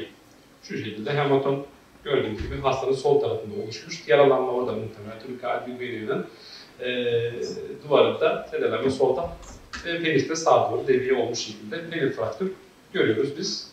Biz bunu cerrahi olarak ne yapıyoruz? Deglovedik penisi soyup e, tüm karbonayı bulana kadar katları açıp o bulduğumuz hasarlı yeri onarıyoruz. Sonrasında kontrol ediyoruz. Tekrar penisi erektal gelerek, sanal bir ereksiyon oluşturarak e, serum fizyolojikle beraber kaçak olup olmadığını tekrar kontrol ediyoruz. Çünkü devam eder bu akıntı, hematom şeyi devam eder. Kaçak olmadıktan sonra sonra pansumanlı uzun dönemde ödem tedavisiyle beraber gerileyebiliyor bunlar. Erek, e, beraberinde üretim yaralanmaları görülebiliyor. E, işte travmanın tipine bağlı olarak penis boyundan dolayı şöyle üreter tarafından geriye doğru bükülürse genellikle beraberinde e, üreterinde kopmalar, yırtılmalar görülüyor sıklıkla. O da can sıkıcı durumlardan bir işi biraz komplike hale getiriyor. Testis travmaları da yine nadir görülür. Bunlar düşme çarpma sonucunda işte motosiklet, bisiklet kazalarında düşmeler sırasında ortaya çıkabiliyor. Kontüzyonlarda Türkiye genel, genellikle sağlam oluyor ve altında hematom oluyor. Bu hematomlar e, elevasyonla soğuk uygulamayla antibiyotik ve yatak terapi analitikle takip edilirse genellikle geriliyor. Hidrosel görülebiliyor bu şey olarak, hematosel görülebiliyor. Laserasyonlarda ise e, cerrahi tedavi gerekiyor. Testisin turikarbibiniyası dikilebilir. Ama parçalanmışsa, çoklu parçalanma varsa, çoklu yerden ayrılmışsa ve testis ciddi şekilde zarar gördüyse bunları o şekilde yapmanın çünkü kalan testisten pek hayır gelmiyor. İki testis olduğu düşünülerek aslında mobilitesini artırmaya gerek olmadığını düşünerek biz bunlara o şekilde yapıyoruz. Yani yine testis ileri harap olursa o şekilde öneriyoruz. Teşekkür ediyorum bu bilginiz için. Kıymetli hocalarım, meslektaşlarım, kıymetli öğrencilerimiz. Aslında bence e, bu sempozyumun en heyecanlı, en farklı oturumu bu. E, bildiğiniz tüm insana müdahale yöntemlerini unutturacak bir oturum. E, kısaca söylemek gerekirse travma hastalarında hipotansiyon vesaire bir şey olduğu zaman hastayı sırt üstü yatırıp ayaklarını yukarıya kaldırıyoruz değil mi temel olarak? Hepimiz böyle yapıyoruz. Ama gebelerde bu yapmamamız gereken bir müdahale. Çünkü karnınızda bir damacananın olduğunu düşünün. Bütün aorta, vena cava'ya vesaire baskı yaptığını, o hipotansiyonu daha da şiddetlendirdiğini görüyoruz. Dördüncü sınıfları anlatırken de hep öyle söylüyorduk. Karnınıza bir kayayı, bir taşı büyük damarlara basmak isterseniz ya da bir gebeyi hipotansif yapmak isterseniz onu sırt üstü yatırın deriz. Özellikle ikinci trimesterden sonrası bu. Ee, şimdi travmalı e, bir gebeye yaklaşım da kendi içinde fizyolojik haftalarına göre farklılık içeriyor. E, çünkü iç içe geçmiş iki tane travma hastası var. E, sadece anne yok. Anne ile birlikte e, bir fetüs de var. Bunun haftasına göre anneye e, hocalarımız bahsettiler, tüp torakostomiden bahsettiler, diğer cerrahi müdahalelerden bahsettiler. Haftasına göre bunun yeri bile değişiyor. E, gebe olmadan önce uterus küçücük, pelvis içi bir organken, küçük bir armut kadarken sifoide kadar büyüyen devasa kanlanan, dakikada 300-500 cc'lik bir debisi olan e, korkunç bir organa dönüşüyor. Dolayısıyla onun ittiği organlarla, onun yer değiştirdiği organlarla birlikte bir yaşam başlıyor e, ve müdahaleleri de değişiyor. O yüzden öncelikle gebe bir hastanın travmasına müdahale edebilmek için fizyolojik dönemlerindeki değişiklikleri az çok aşinamamak lazım. Ee, dediğim gibi aynı anda iki travma hastamız var e, gebeliğe özgü bu anatomik değişikliklerin dışında fetüsün teratojenitesi, e, RH-RH uygunsuzluğu varsa immünoglobulin ihtiyacı veya grafi görüntüleme yöntemlerinde e, acaba kısıtlılıklarımız ne, hangisini tercih etmeliyiz gibi e, sorularla da karşılaşıyoruz. Şimdi travma gebe hastalarda normalde çok olmaz diye düşünüyoruz. Çünkü gebe hastalar daha çok kendini ve karnında e, taşıdığı bebeği koruma eğilimindedir. Ama maalesef reproduktif dönemde gebeliğin de belki getirdiği e, yürüyüş tarzı, denge problemleri vesaire gibi bu çağlarda sıkça travma görüyoruz. Obstetrik anne ölümleri dışında birinci nedeni travma anne ölümleri, obstetri dışında sık görüyoruz. Araç içi trafik kazaları, cinayet, saldırı maalesef ülkemizde de silahlı yaralanmalar, düşmeler e, ve bazen intihar girişimi. E, bu anne ölümlerinde e, gebe travmalarındaki üç nedenden biri. Şimdi travmatize olan hastalarda e, birinci değerlendirme, olay yeri güvenliği gibi standart acil yaklaşımları uyguluyoruz ama hastaya pozisyon vermekten, e, vereceğimiz maillerin e, desteğinden, önceliğin seçiminden bazı farklılıklar var e, hava yolunu, solunumu, dolaşımı sağlamak gerekiyor. Ve mümkünse kadın doğum e, uzmanı tarafından da e, travma ekibiyle birlikte değerlendirilmesi gerekiyor. Nedir bizim e, farklılık diye söylediğim şeyler az önce bahsettim. Bir gebeyi e, özellikle lateral dekübit pozisyonda hem uterusa kan akımını sağlayacak hem de şu aşağıda supin ve sol lateral pozisyonda e, şematize edilmiş bir hali var. Bakın e, aorta, vena cava'ya fetüsün baskısı nasıl oluyor? Sol lateral yana yatırdığımız zaman nasıl oluyor dolaşım? E, dolayısıyla öncelikle pozisyondan başlıyor. Travma, trafik kazası veya dışarıda travmatik bir gebeyi gördüysek müdahale esnam, müdahalemiz e, inspeksiyonla başlıyor, pozisyon değiştirmeye başlıyor. E, eğer spinal kort stabilizasyonu gerekiyorsa bile e, spinal travma tahtasına sabitlemişsek bile gebeyi e, birazdan da göstereceğim. Sol e, tarafı 30 derece, 15 ila e, 30 derece yüksekte kalacak şekilde e, bu basıyı ortadan kaldırabilmek, dolaşımı sağlayabilmek adına çok önemli. Evet neler değişiyor? Kan basıncında da değişiklikler oluyor. Yani bir gebenin e, plazma volümü, kan volümü e, fetüsü de besleme adına ciddi bir artış gösteriyor. Eritrosit miktarı da artıyor ama e, plazma kadar e, yüksek değil. O yüzden bir dilüsyonel anemi de söz konusu. E, plasentanın, e, uteroplasental akımın sağlanması için de belirli bir dirençte tutuluyor. E, bu son trimestre geçene kadar bu travmayı, kanamayı, e, hemorajiyi çok iyi tolere edebiliyor gebeler. Yani tansiyonun e, iyi olması kanamayı ekarte ettirmiyor ama tansiyonun kötü olması bizim için kötü haber. Çünkü hipotansif olduğu zaman bir gebe aynı zamanda fetüsün beslenmesi de bozulmuş oluyor. Gebelikte en çok problem yaratan kısım supinipotansif sendrom. Bazen NST çekilirken hastalara odadan bile e, hemşire koşarak gelir hocam işte hasta soğuk soğuk terlemeye başladı çok kötü oldu ne yapalım bir gideriz bakarız. Normalde e, dediğim gibi sırt üstü yatmasını istemeyiz ikinci trimesterden sonra özellikle 23-24. haftada 36 hafta karnı burnunda bir gibi sırt üstü yatınca soğuk soğuk terlemeye başlıyor. Biz ultrasonları bile yaparken e, semifolar pozisyon diyoruz bazen. İşte 45 derece hafif kafası yukarıda olacak şekilde e, yapmaya çalışıyoruz ki bu basıyı e, hasta yaşamasın diye. E, eğer böyle bir supinpotansif sendromla karşılaşmışsa öncelik hastayı az önce sol yan tarafına çevirmek olacaktır. Evet bakın burada bir travma gebesi var. E, travma tahtasına sabitlenmiş, servikal kolları boyunluğa takılmış e, kuşak karnın altından geçirilmiş ve gördüğünüz üzere sağ omzun altına yükseltiyle hafif sol yan pozisyon verilmiş. Spinal kort travmasından şüphelenildiği zaman yine sabitliyoruz ama e, 15 ila 30 derece kadar yükselterek supinipotansif sendromdan korumaya çalışıyoruz. Dilüsyonel anemiden bahsettim. E, kan volümü artıyor, çok iyi tolere ediyor e, hipotansiyonu geciktiriyor ama e, vital bulgularda eğer değişiklik oluyorsa, hipotansiyon başlamışsa bir şeylere acele etmek gerekiyor. Maternal kan akımı, e, uterin debiyi söyledim hatta postpartum kanama dersinden de e, 4. sınıftaki arkadaşlar hatırlayacaktır.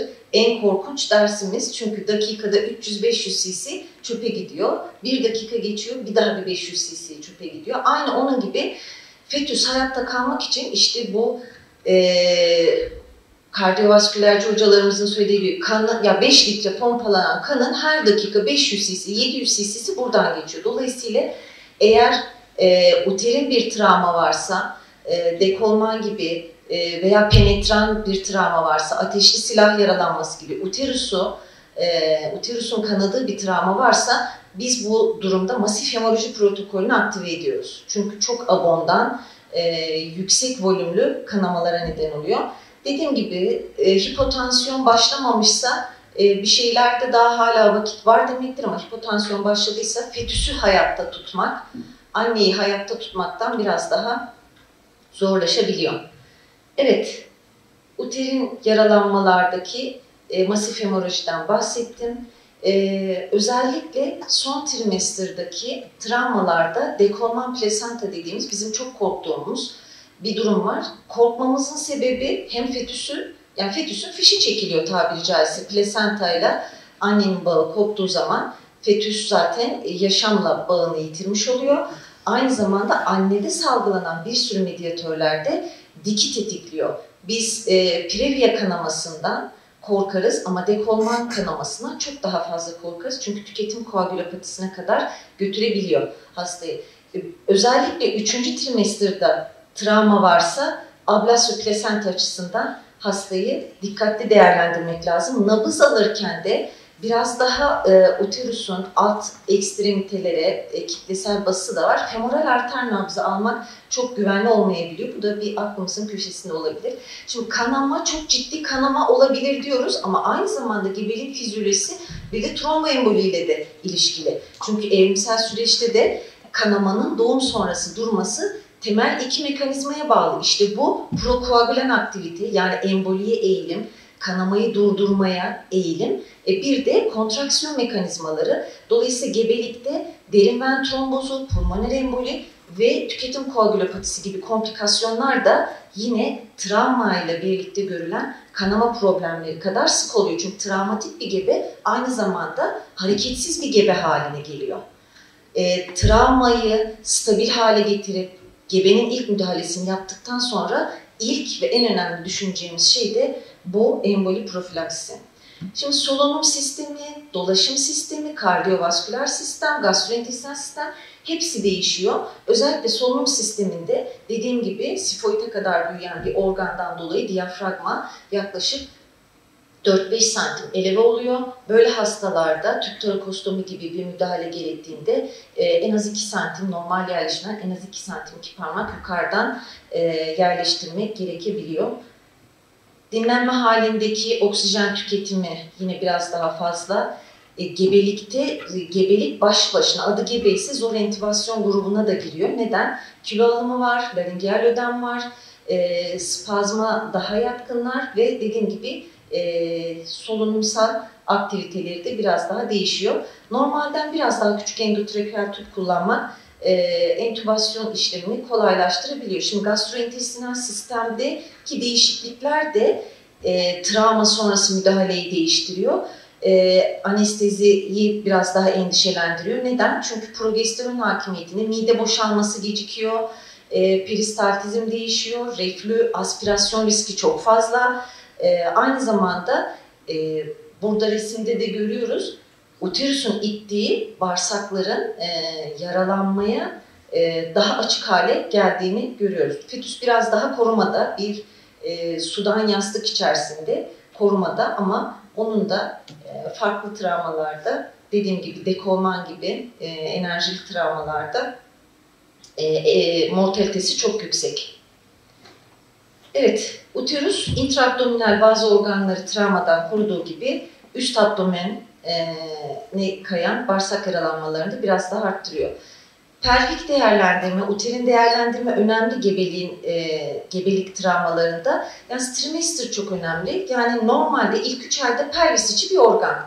12. haftadan sonra pelvis dışına çıkmaya başlıyor. Artık pelvis dışında bir organ haline gelmeye başlıyor uterus. Dolayısıyla ilk 12 haftada e, daha korunaklı kemik bir kafes içerisinde e, daha az travmalardan etkilenirken e, umbilikusu geçtikten sonra yani tahmini 20, 22. 23. haftalardan sonra travmaya e, daha açık hale geliyor. Mesane daha hiperemik, e, uterin damarlanma e, daha yoğun. Dolayısıyla kanama riski de biraz daha artıyor. Standart travma bakımını muhakkak uyguluyoruz ama pozisyon verirken solunum yolu açarken aspirasyon riskini unutmadan muhakkak bir nazogastritle ve entübasyon e, ilkelerine de hassasiyetli riayet ederek yapmak lazım. Olay yeri güvenliği, birinci, ikinci değerlendirme bunlar. Zaten standart monitörize ediliyor ama dediğim gibi iki travma hastamız var. Sadece anneyi monitörize etmek yetmiyor. Fetüsün özellikle viable fetüs için geçerli yaşayıp yaşamadığını ve vital bulgularını da kontrol etmek gerekiyor. Bazen anneyi kaybettiğimiz durumlarda bile fetüsü kurtarma şansımız var. Buna perimortem veya postmortem sezeryen son slaytlarda değineceğim. Ee, anneyi kaybetsek bile ilk 5 dakika e, geçtikten sonra fetüsü genel olarak e, oksijenizasyonunun yine de iyi yaşayabilir olduğunu kabul ediyoruz. Viable fetüsler için geçerli yani e, 24. hafta ve sonrası için. uygun tespitten bahsettim ve en kısa zamanda kadın doğum, yeni doğan, e, yoğun bakım e, şartlarının e, olduğu bir merkeze sevki. E, özel hatırlatmaları bir kere daha e, söylemiş olacağım. Kan, burada e, dilüsyonel aneminden bahsetmiştim. Oraya dikkat çekeceğim. Şimdi e, gebe travmalarında kristaloid solüsyonlarla başlıyoruz. Yine onunla vereceğiz ama 2000 cc'den sonra muhakkak şekilli eleman koymak lazım. Yani kan transfüzyonuna erken dönemde başlamak gerekiyor. Çünkü işler bir anda e, çok daha hızlı seyrediyor. Yani hemogram 11'lerden e, 12'lerden 4'lere düşebiliyor. Dolayısıyla o doku oksijenizasyonu, fetüs oksijenizasyonu açısından 2000 cc verdikten sonra şekilli elemanı dolaşıma vermek gerekiyor. O yüzden ilk müdahalede daha damar yolu açılırken bir gebe, travma gebesi ise daha damar yolu açılırken crossmatch ve kan istemlerini yapıyoruz. Çünkü en kısa sürede bir kanın crosslanması bile 45 dakika ediyor. E, her dakika başına 300-500 cc bir debinin kaybolduğunu düşünürseniz 40 dakikanın aslında bizim için bir asır olduğunu hayal edebilirsiniz. Rogan unutulmaması gereken e, bir madde bizim için. Bazen aile içi şiddette karnına tekme alıyor ya da işte mutfaktan bardağı alırken düştüm karnımı vurdum diyor.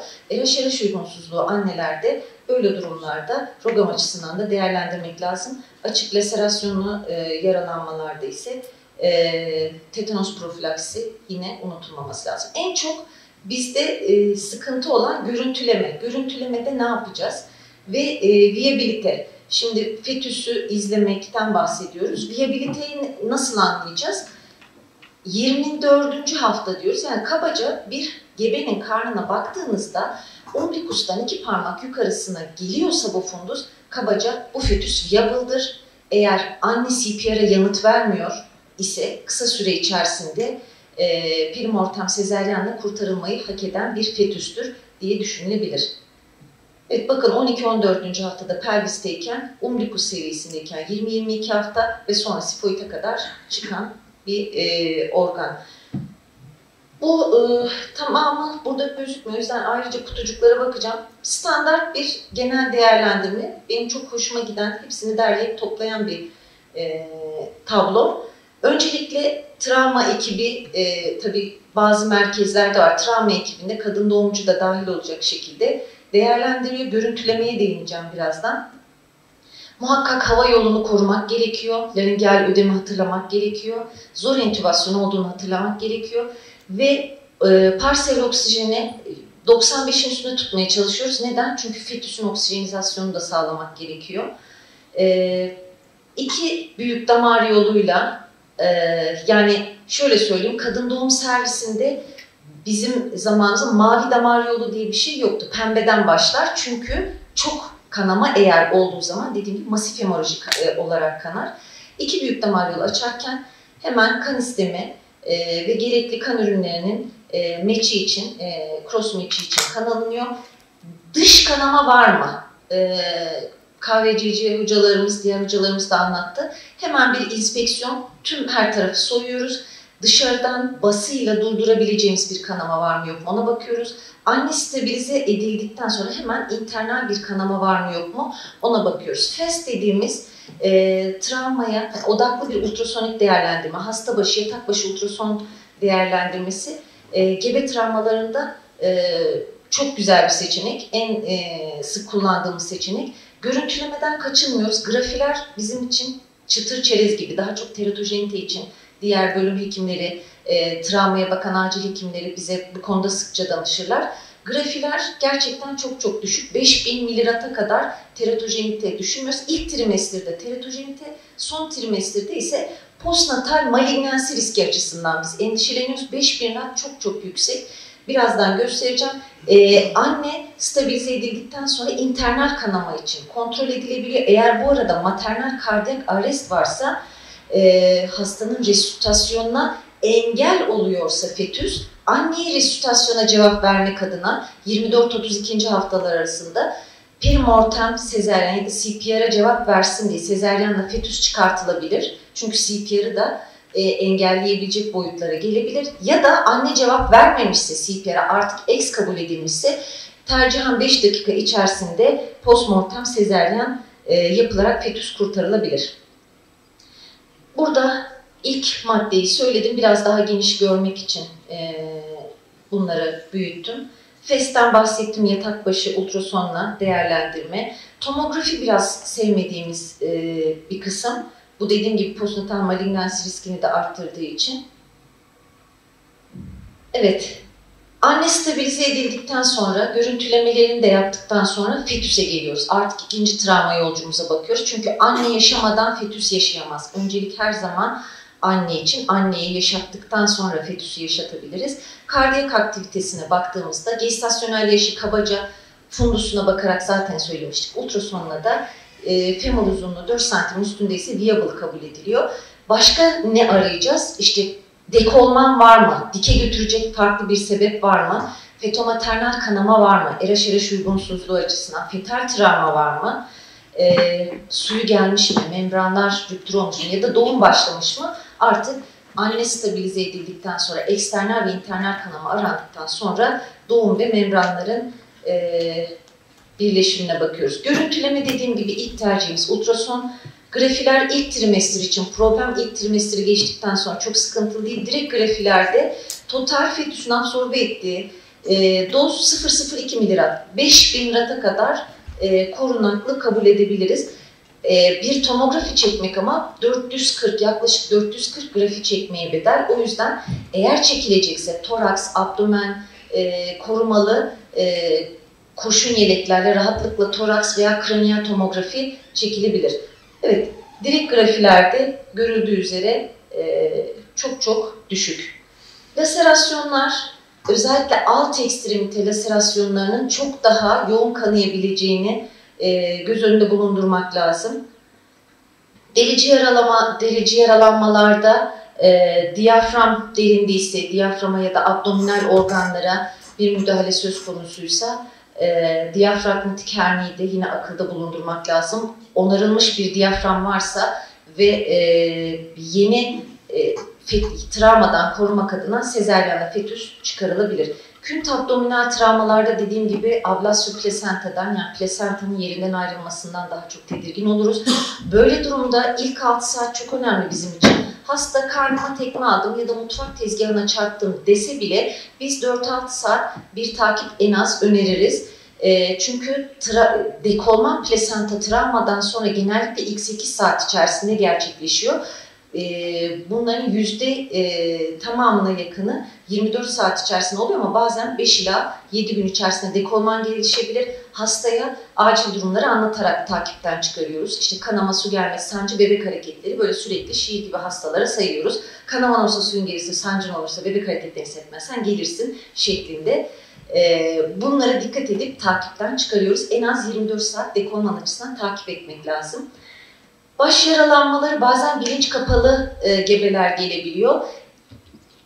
Bilinci kapandı da düştü mü başını vurdu yoksa başını vurdu da mı travma oldu da bilinci kapandı? Bunlar bizim için o aşamada ayırt edemeyeceğimiz problemler olabilir. Hastada hipertansiyonla birlikte bilinç bulanıklığı e, ve kafa travması sonrası proteinleri ödem, hipertansiyon gibi bulgular görürsek eklem tip krizi e, muhakkak atlamamak lazım. Böyle bir durumda magnezyum infüzyonu verilmesini öneriyoruz eklemsi profilaksisi açısından.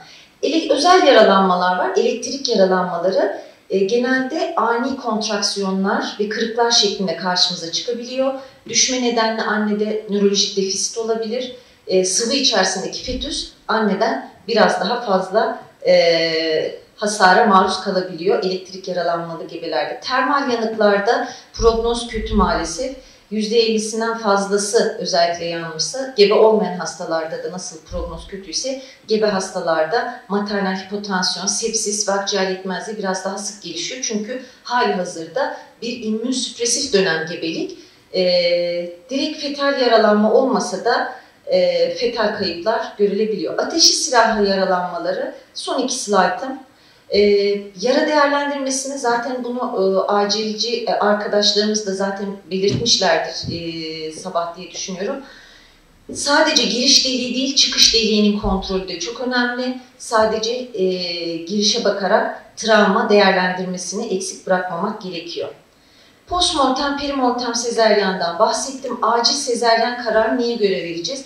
Bu hekimin en zorlandığı durumlardan biri. Biz Covid döneminde e, ek binada yatakta bir sezeryan yapmak zorunda kaldık. Annenin artık mekanik ventilasyona cevap vermediği, fetüsün yer kapladığı için mekanik ventilasyona cevabı engellediğini e, bir heyet oluşturarak karar verdiğimizde e, anne entübeyken e, böyle bir sezeryan yapmak zorunda kaldık. En azından son seçenek bu e, cevabı arttırabilir miyiz? Mekanik ventilasyona cevabı arttırabilir miyiz diye. Anne ölümünden e, sonra 20 dakika geçmeden mümkünse yapmak lazım. Kitap bilgi mümkünse ilk 5 dakikada fetüsün oksijenizasyonu bozulmaması için. Bir mortem sezeryan dediğimizde CPR yanıtını engelliyorsa yapılan sezeryan. Böyle bir durumda rıza durumu aranmıyor. Zaten hasta bilinci kapalı oluyor ama hasta yakınlarına bilgilendirme vermek gerekiyor. Takipten bahsettim. Hastanın e, genel durumu iyi, vital bulguları stabil ama karnına bir travma aldığını söylüyorsa en az 4 saatlik bir takip e, öneriyoruz. Bu takipte kontraksiyon var mı, kanama var mı, ağrısı var mı, bebek hareketlerini nasıl hissediyor kontrol ediyoruz. Eğer abdominal kült travması varsa, kontraksiyonu kanaması varsa veya güven vermeyen NST varsa böyle durumda koagülopati şüphemiz varsa, dekolman plasenta gibi bir durumumuz varsa zaten en az 24 saat takip öneriyoruz. Evet, teşekkür ederim. En heyecanlı oturumu bitirmiş bulunuyorum.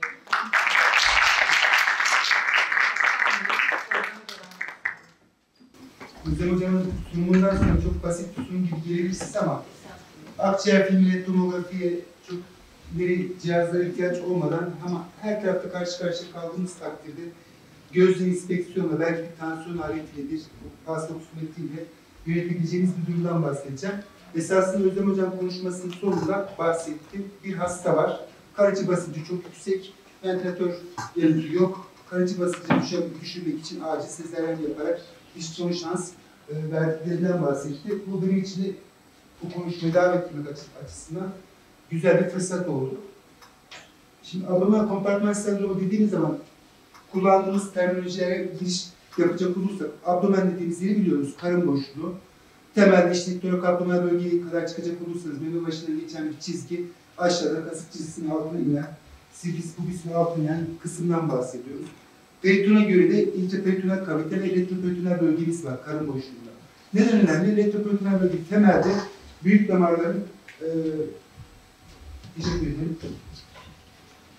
bulunduğu böbreklerinde yer aldığı bir kompartman.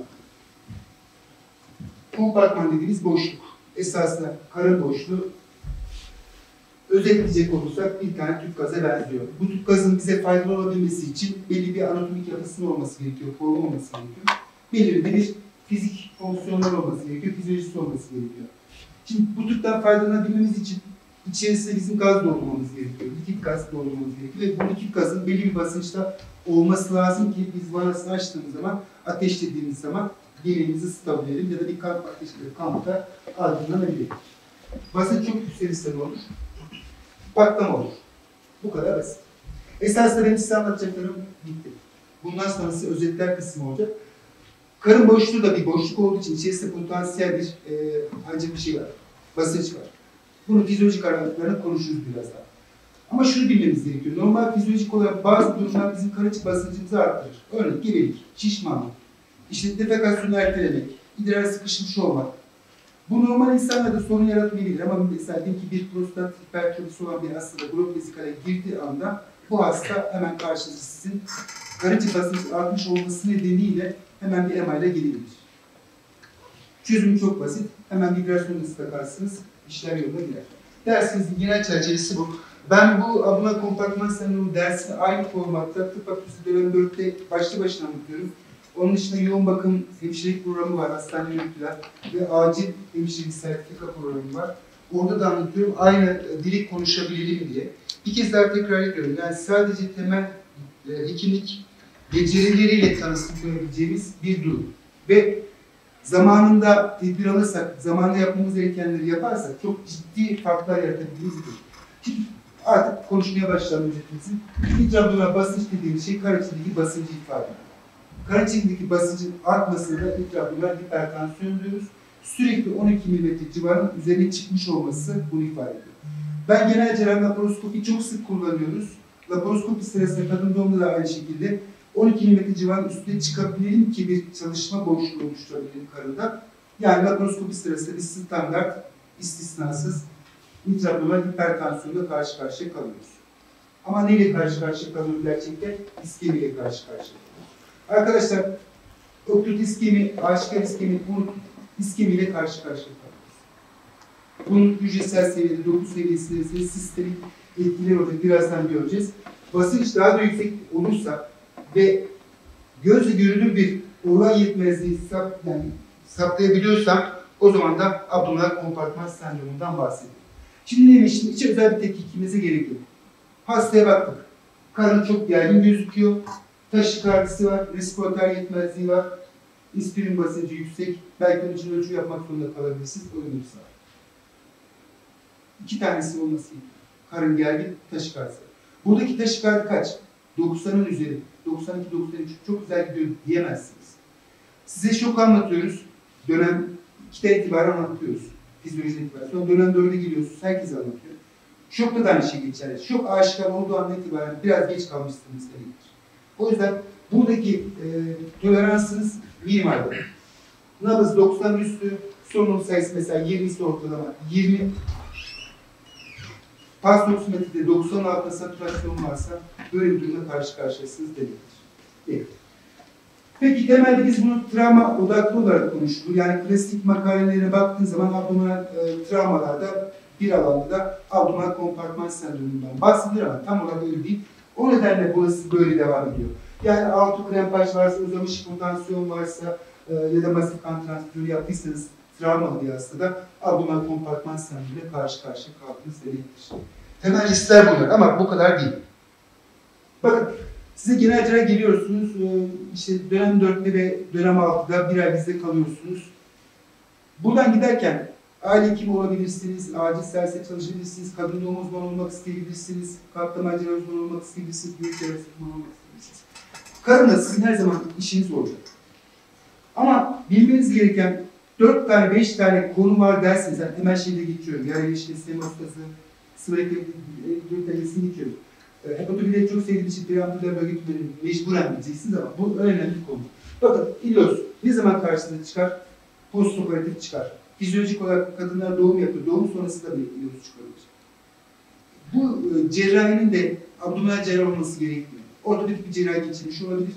Metabolik durumu bozuktur. Hasta hipotansif kalmıştır. Beslenememiştir. İlosla karşı karşıya kalırsınız. Bildiğiniz manevisten intestinal obstrüksiyon, İntestinal obstrüksiyonun iki tane durumla karşı karşıya kalırsınız. Unutmayın. Bir tanesi abdominal kompartman sendromu, diğeri de sıvı elektrik bozukluğu. Sıvı e, döngüsü bozulur. Bunu unutmayın. Diğer peritonitler pek çok neden olabilir. Kronik böbrek yetmezliği hastasıdır, hastasıdır, stiroz hastasıdır, asiti vardır, su kontak peritonit geliştirir. Postoperatif absesi olur, anastomoz kaçağı vardır, pankreatik geçirir, peritonit geliştirir, mide perforasyonu olur, peritonit geliştirir. Burada bazikayla örnek vermiştim. Ee, Özlem Hocam söylediği için zaten gidelik ve şişmanlığı da ayrıca buraya ekleyelim. Şimdi uzun uzun bunlara takılmayın. Şunu söyleyeceğim sadece. E, cerrahi ilk geldiğinizde size e, travmaya, nöroendokrin yanıttan bahsediyoruz. Abdominal kompartman sendromunda da o derste okuduğunuz her şey bir kısır döngü şeklinde sizi alıp götürüyor, daha doğrusu hastaya götürüyor. Bağırsaklarla başlayan doku iskelesi var. Yer erişmesi bozuluyor. Alt ekstremitelerde venöz trombo e, emboli riski artıyor. Bu eşittir. Buraya yazılmamış ama bunun önemli demek. Yani ani ölüm demek arkadaşlar. Bunu unutmayın. Devlette eşittir ölüm riski her zaman var. Ne zaman oluyormuş? 12-15 kilometre civar. Yani ben bir kolestektomi alıyorum. Hastaya ameliyathane alıyorum. 12-15 kilometre civarı arasında çalışıyorum. Hastaya verdiğim riskler bunlar. Halihazırda yaşlıysa, rezervleri sıkıntılıysa, yani e, aritmisi varsa, hemen öyküsü varsa, ne bileyim aklıma gelmedi şimdi kalp yetmezliği varsa, puan hastası sigara içiyorsa, sadece tek başına yaşlıysa, periferik arteryasyonu varsa burada 15'e kadar çıkamıyorsunuz. 12'de gördüğü anda hasta bunlara karşı karşıya kalıyor. Ee, sistemik izomata yanı sendromu artıyor daha başta. Başlıyor yani her şey.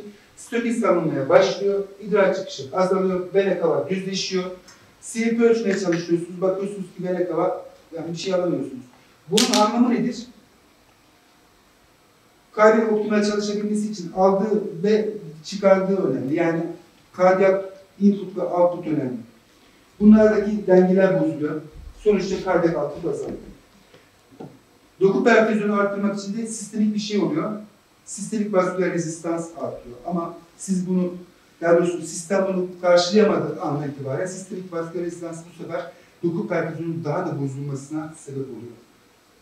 Asidoz yerleşiyor ve basınç 16'ın üzerine çıktığı zaman çok daha farklı bir şey oluyor. Hastanız açık oluyor, saldırganlaşıyor, bağırıyor, çağırıyor mesela. Ya da tersten müdahaleleşiyor. Huzursuz olan birisi sakinleşiyor, tamam mı? Ya o rahatladı falan demeyin. Eğer sedatif vermemişsiniz. Ne oluyor biliyor musunuz? Serebral perfüzyon basıncınız yükseldi. Pardon, tekrarına basıncınız yükseldi. Serebral perfüzyon basıncınız düştü. Yani beyin kanlanmıyor, perfüz olmuyor. Bu tabii ki ne demektir? Devamında serebral iskemi, beyin ödemi ve shift ölüm demektir. Dediğim gibi şeylere çok fazla takılmayın. Adım bütün adımlara takılmayın. Sadece sistemik olarak döndüğünü bilin. Artık kaçınılmaz noktadayız. 20 mm civarın basıncı üstüne çıkmış ve baktığınız zaman e, ölümün soğuk esintisi her tarafta olan bir hastayla karşı karşıyasınız. Panik yapmamanız gereken bir durumdasınız burada. Çünkü şöyle, hiçbir hastada umut kesmemeniz gerekiyor. Terminal dönem kanser hastaları hariç. Belirli tanısı almış hastalar zaten ölüm demektir. Birkaç hasta durumu dışında hiçbir hasta umut kesmemeniz gerekiyor. Durum çok vahim ama hala yapılacak çok şey var. Şimdi gelelim. Neler yapalım? Basınç 12 mm civarının üzerine çıktığı anda, bunu düşündüğünüz anda, yani okült iskemi var, hafif taş çıkartısı var 90 üzerinde. Bu hasta arrest olabilir. Genel olarak bütün hastalar arrest olabilir mentalitesiyle hazır olmam gerekiyor ama bu duruma özgü CPR hazırlığını yapacağım. Hastayı monitörize edeceğim. Yani girişteki vital bulgularını kaydedeceğim. İlla ki teknolojik cihazlar olması gerekmiyor. Monitorizasyonu ben size anlatmıştım daha önce. Monitorizasyon demek hastanın girişteki vital bulgularını kaydet, bir karar ver, tedavi planı yap, belli aralıklarla vital bulguları takip et, tedavi planını düzgün mu, belli aralıklarla kontrol et ve yeniden revize et. Monitorizasyon buyuruyor. Temelde bir kağıt kalem ihtiyacımız var. Hava yolunuz açık olacak, damar yolunuz açık olacak. Yani bundan şunu anlayın siz. Hasta sırt üstü yatıyor, gayet güzel. Sadece sırt üstü yatma, yatan bir hastayı oturup pozisyona getirmeniz hava yolunun açık olması destektir. İhtiyaç duyuyorsa da airway takmanız hava yoluna bir destektir. Ee, örnek olarak söyleyeyim, hastanın pleural füzyonu vardır, konuştuğumuz hastayla ilgili olarak göğüs kaplama cerrahisinden bir konsültasyon isterseniz ya da siz kendiniz bir e, kloroken takar sıvıyı boşaltırsınız, hava yolu açık olmasına destektir. Genel düşün. Gerekiyorsa yani şey, e, entübe edilip ventilatöre bağlanacağız. Damar yolu açık olacak. Ya bu ne demektir? İşte Özlem Hocam söyledi, şok prensiplerini uygulayacağız. Damar açık olacak. Mayi vereceğiz. Çok fazla mayi vermişsek, e, hematokritimiz, hemoglobinimiz düşmüşse kan ürünü vereceğiz. Gerekiyorsa radikal bir şekilde prospesiz tam kan vereceğiz. Tamam mı? Diğer ilaçlara ihtiyacı olabilir. Şimdi burası tedaviye yönelik işlerden bir tanesi. İntestinal, intestinal obstrüksiyon var, mide dilate ya da perostenozu var, mide dilate karaciğer basıncı çok artmış. Nazogasiyi taktınız, boşalttınız. Basınç hızlıca düşecek. B başlıklı hasta örneğini vermiştim. Acil servisi birebir de yaşadığınız bir hastaydı. Bu 78 yaşında. 10 sene önce bypass geçirmiş. Halihazırda ciddi koroner arter problemleri olan ama bir yandan da takipsiz benim prostatik hipertrofisi olan bir hasta. 3 gündür blokta olan bir hasta. Gedisi acil servise başvuruyor, idrar çıkartamadım diye başvuruyor. Oradaki doktor arkadaş monitöre bağlıyor. Bakıyor ki e, ST depresyonları var. Hastaya ambulansta hemen İlyas Çelebi acil, yeni acil, yeni açıldığı gün orada e, Murat Hoca ile beraber biz konsultlandık. Hastayı görüyoruz. Murat Hoca kardiyak yönden ilgilenirken ben sonrasını takıyorum. Hasta grubu rahatlayınca ritimde düzeliyor. Sağda yapılan her şey doğru. Yani hastanın monitör edilmesi doğru, hastanın sek planlaması doğru. Sadece tek eksik var. Sonunda takılmaması. Ama şu da var, unutmayın. Benim prostat hipertrofisi yani bizim asistanlar dahi takılmıyor. Ben takamıyorum demiyorum çünkü uzun zamandır pratik olarak çok fazla takmıyorum. Bir üroloji danışmanlığı gerekiyor. Bir kez denersiniz, başka bir sorun olmazsa e, çözersiniz. Laparoskopi yapıyorsak gazı boşaltırız, vanaları açarız, zaten tüyoparlarımız var, basınç düşer. Eğer hasta travması sistem laparotomi yaparız. Eğer hasta ilos hastasıysa, e, mekanik e, olan bir hastaysa tabii ki laparotomi yine burada işe yarıyor. Bir de başka hasta örnek vermek istiyorum ben size. Bir tane doğusta bir hasta. Aslında e, belki buna benzer hikayeler hocalarımda da vardır ama Bundan yanlış hatırlamıyorsam 7 sene önce. Bir nöbetçi bir arkadaşım var, beraber çalışıyoruz işte ihtiyaç oldukça diyelim. O gün o nöbetçi, telefonda bir şey, bir hasta var, hocam bu hasta e, işte genç bir kadın, doğumdan 2 ay sonra kaldırıyor kendini 3. kattan atıyor, bilateral femur kırıkları falan var, hasta karnı distandür e, ve hasta e, ameliyathaneye taşırken arrest olmasından bahsediyorlar ve dalak yaralanması olduğundan bahsediyor. Konu bu. Şimdi burada bir radikal karar vermem gerekiyordu. İki hafta, yani iki ay önce do- do- şey, e, doğum yapmış, doğumsalık döneminde hala. E, Kendisini yukarıdan aşağı atmış, bilateral femur kırıkları var, çok ciddi hematomlar e, olabilir. Hastayı bilmiyorum. Ya tamam bir bakın bana da haber verin diye bir dedim. Ben şunu söyledim. Dedim ki ameliyat masasını alın. Arrest tekrar olsa bile raporlamasını yapın. Ben yapayım. Ameliyathaneye girdim. Hasta masada e, geçmiş güvenlisizle uğraşıyor ve tekrar arrest oldu. Karın çok istendiyor. Hastayı tanımıyorum. Nesi var nesi yok bilmiyorum. Ama e, bana gönderilen hemogramından, e, ultrason ya da tomografi görüntülerinden e, bu kesinlikle bir dalak travması değil. Sadece basit bir insizyonla, bir santimetrelik insizyonla kan içerisinden e, idrar gelmeye başladı. Ve hasta ikinci, pardon, üçüncü CPR'a yanıt verdi. Tabii ki ciddi problemleri var. Bu hasta olan şey şu. Evet taburcu edilirken idrar sondası çekiliyor. Bir hafta boyunca evde idrar sondası kalıyor. Ee, bütün ağrıları falan var zaten. Yavaş yavaş perforasyon olduktan sonra zaten üretkiler yükseliyor. Pirales şekilde ambulans geliyor falan ağrı şişiyor.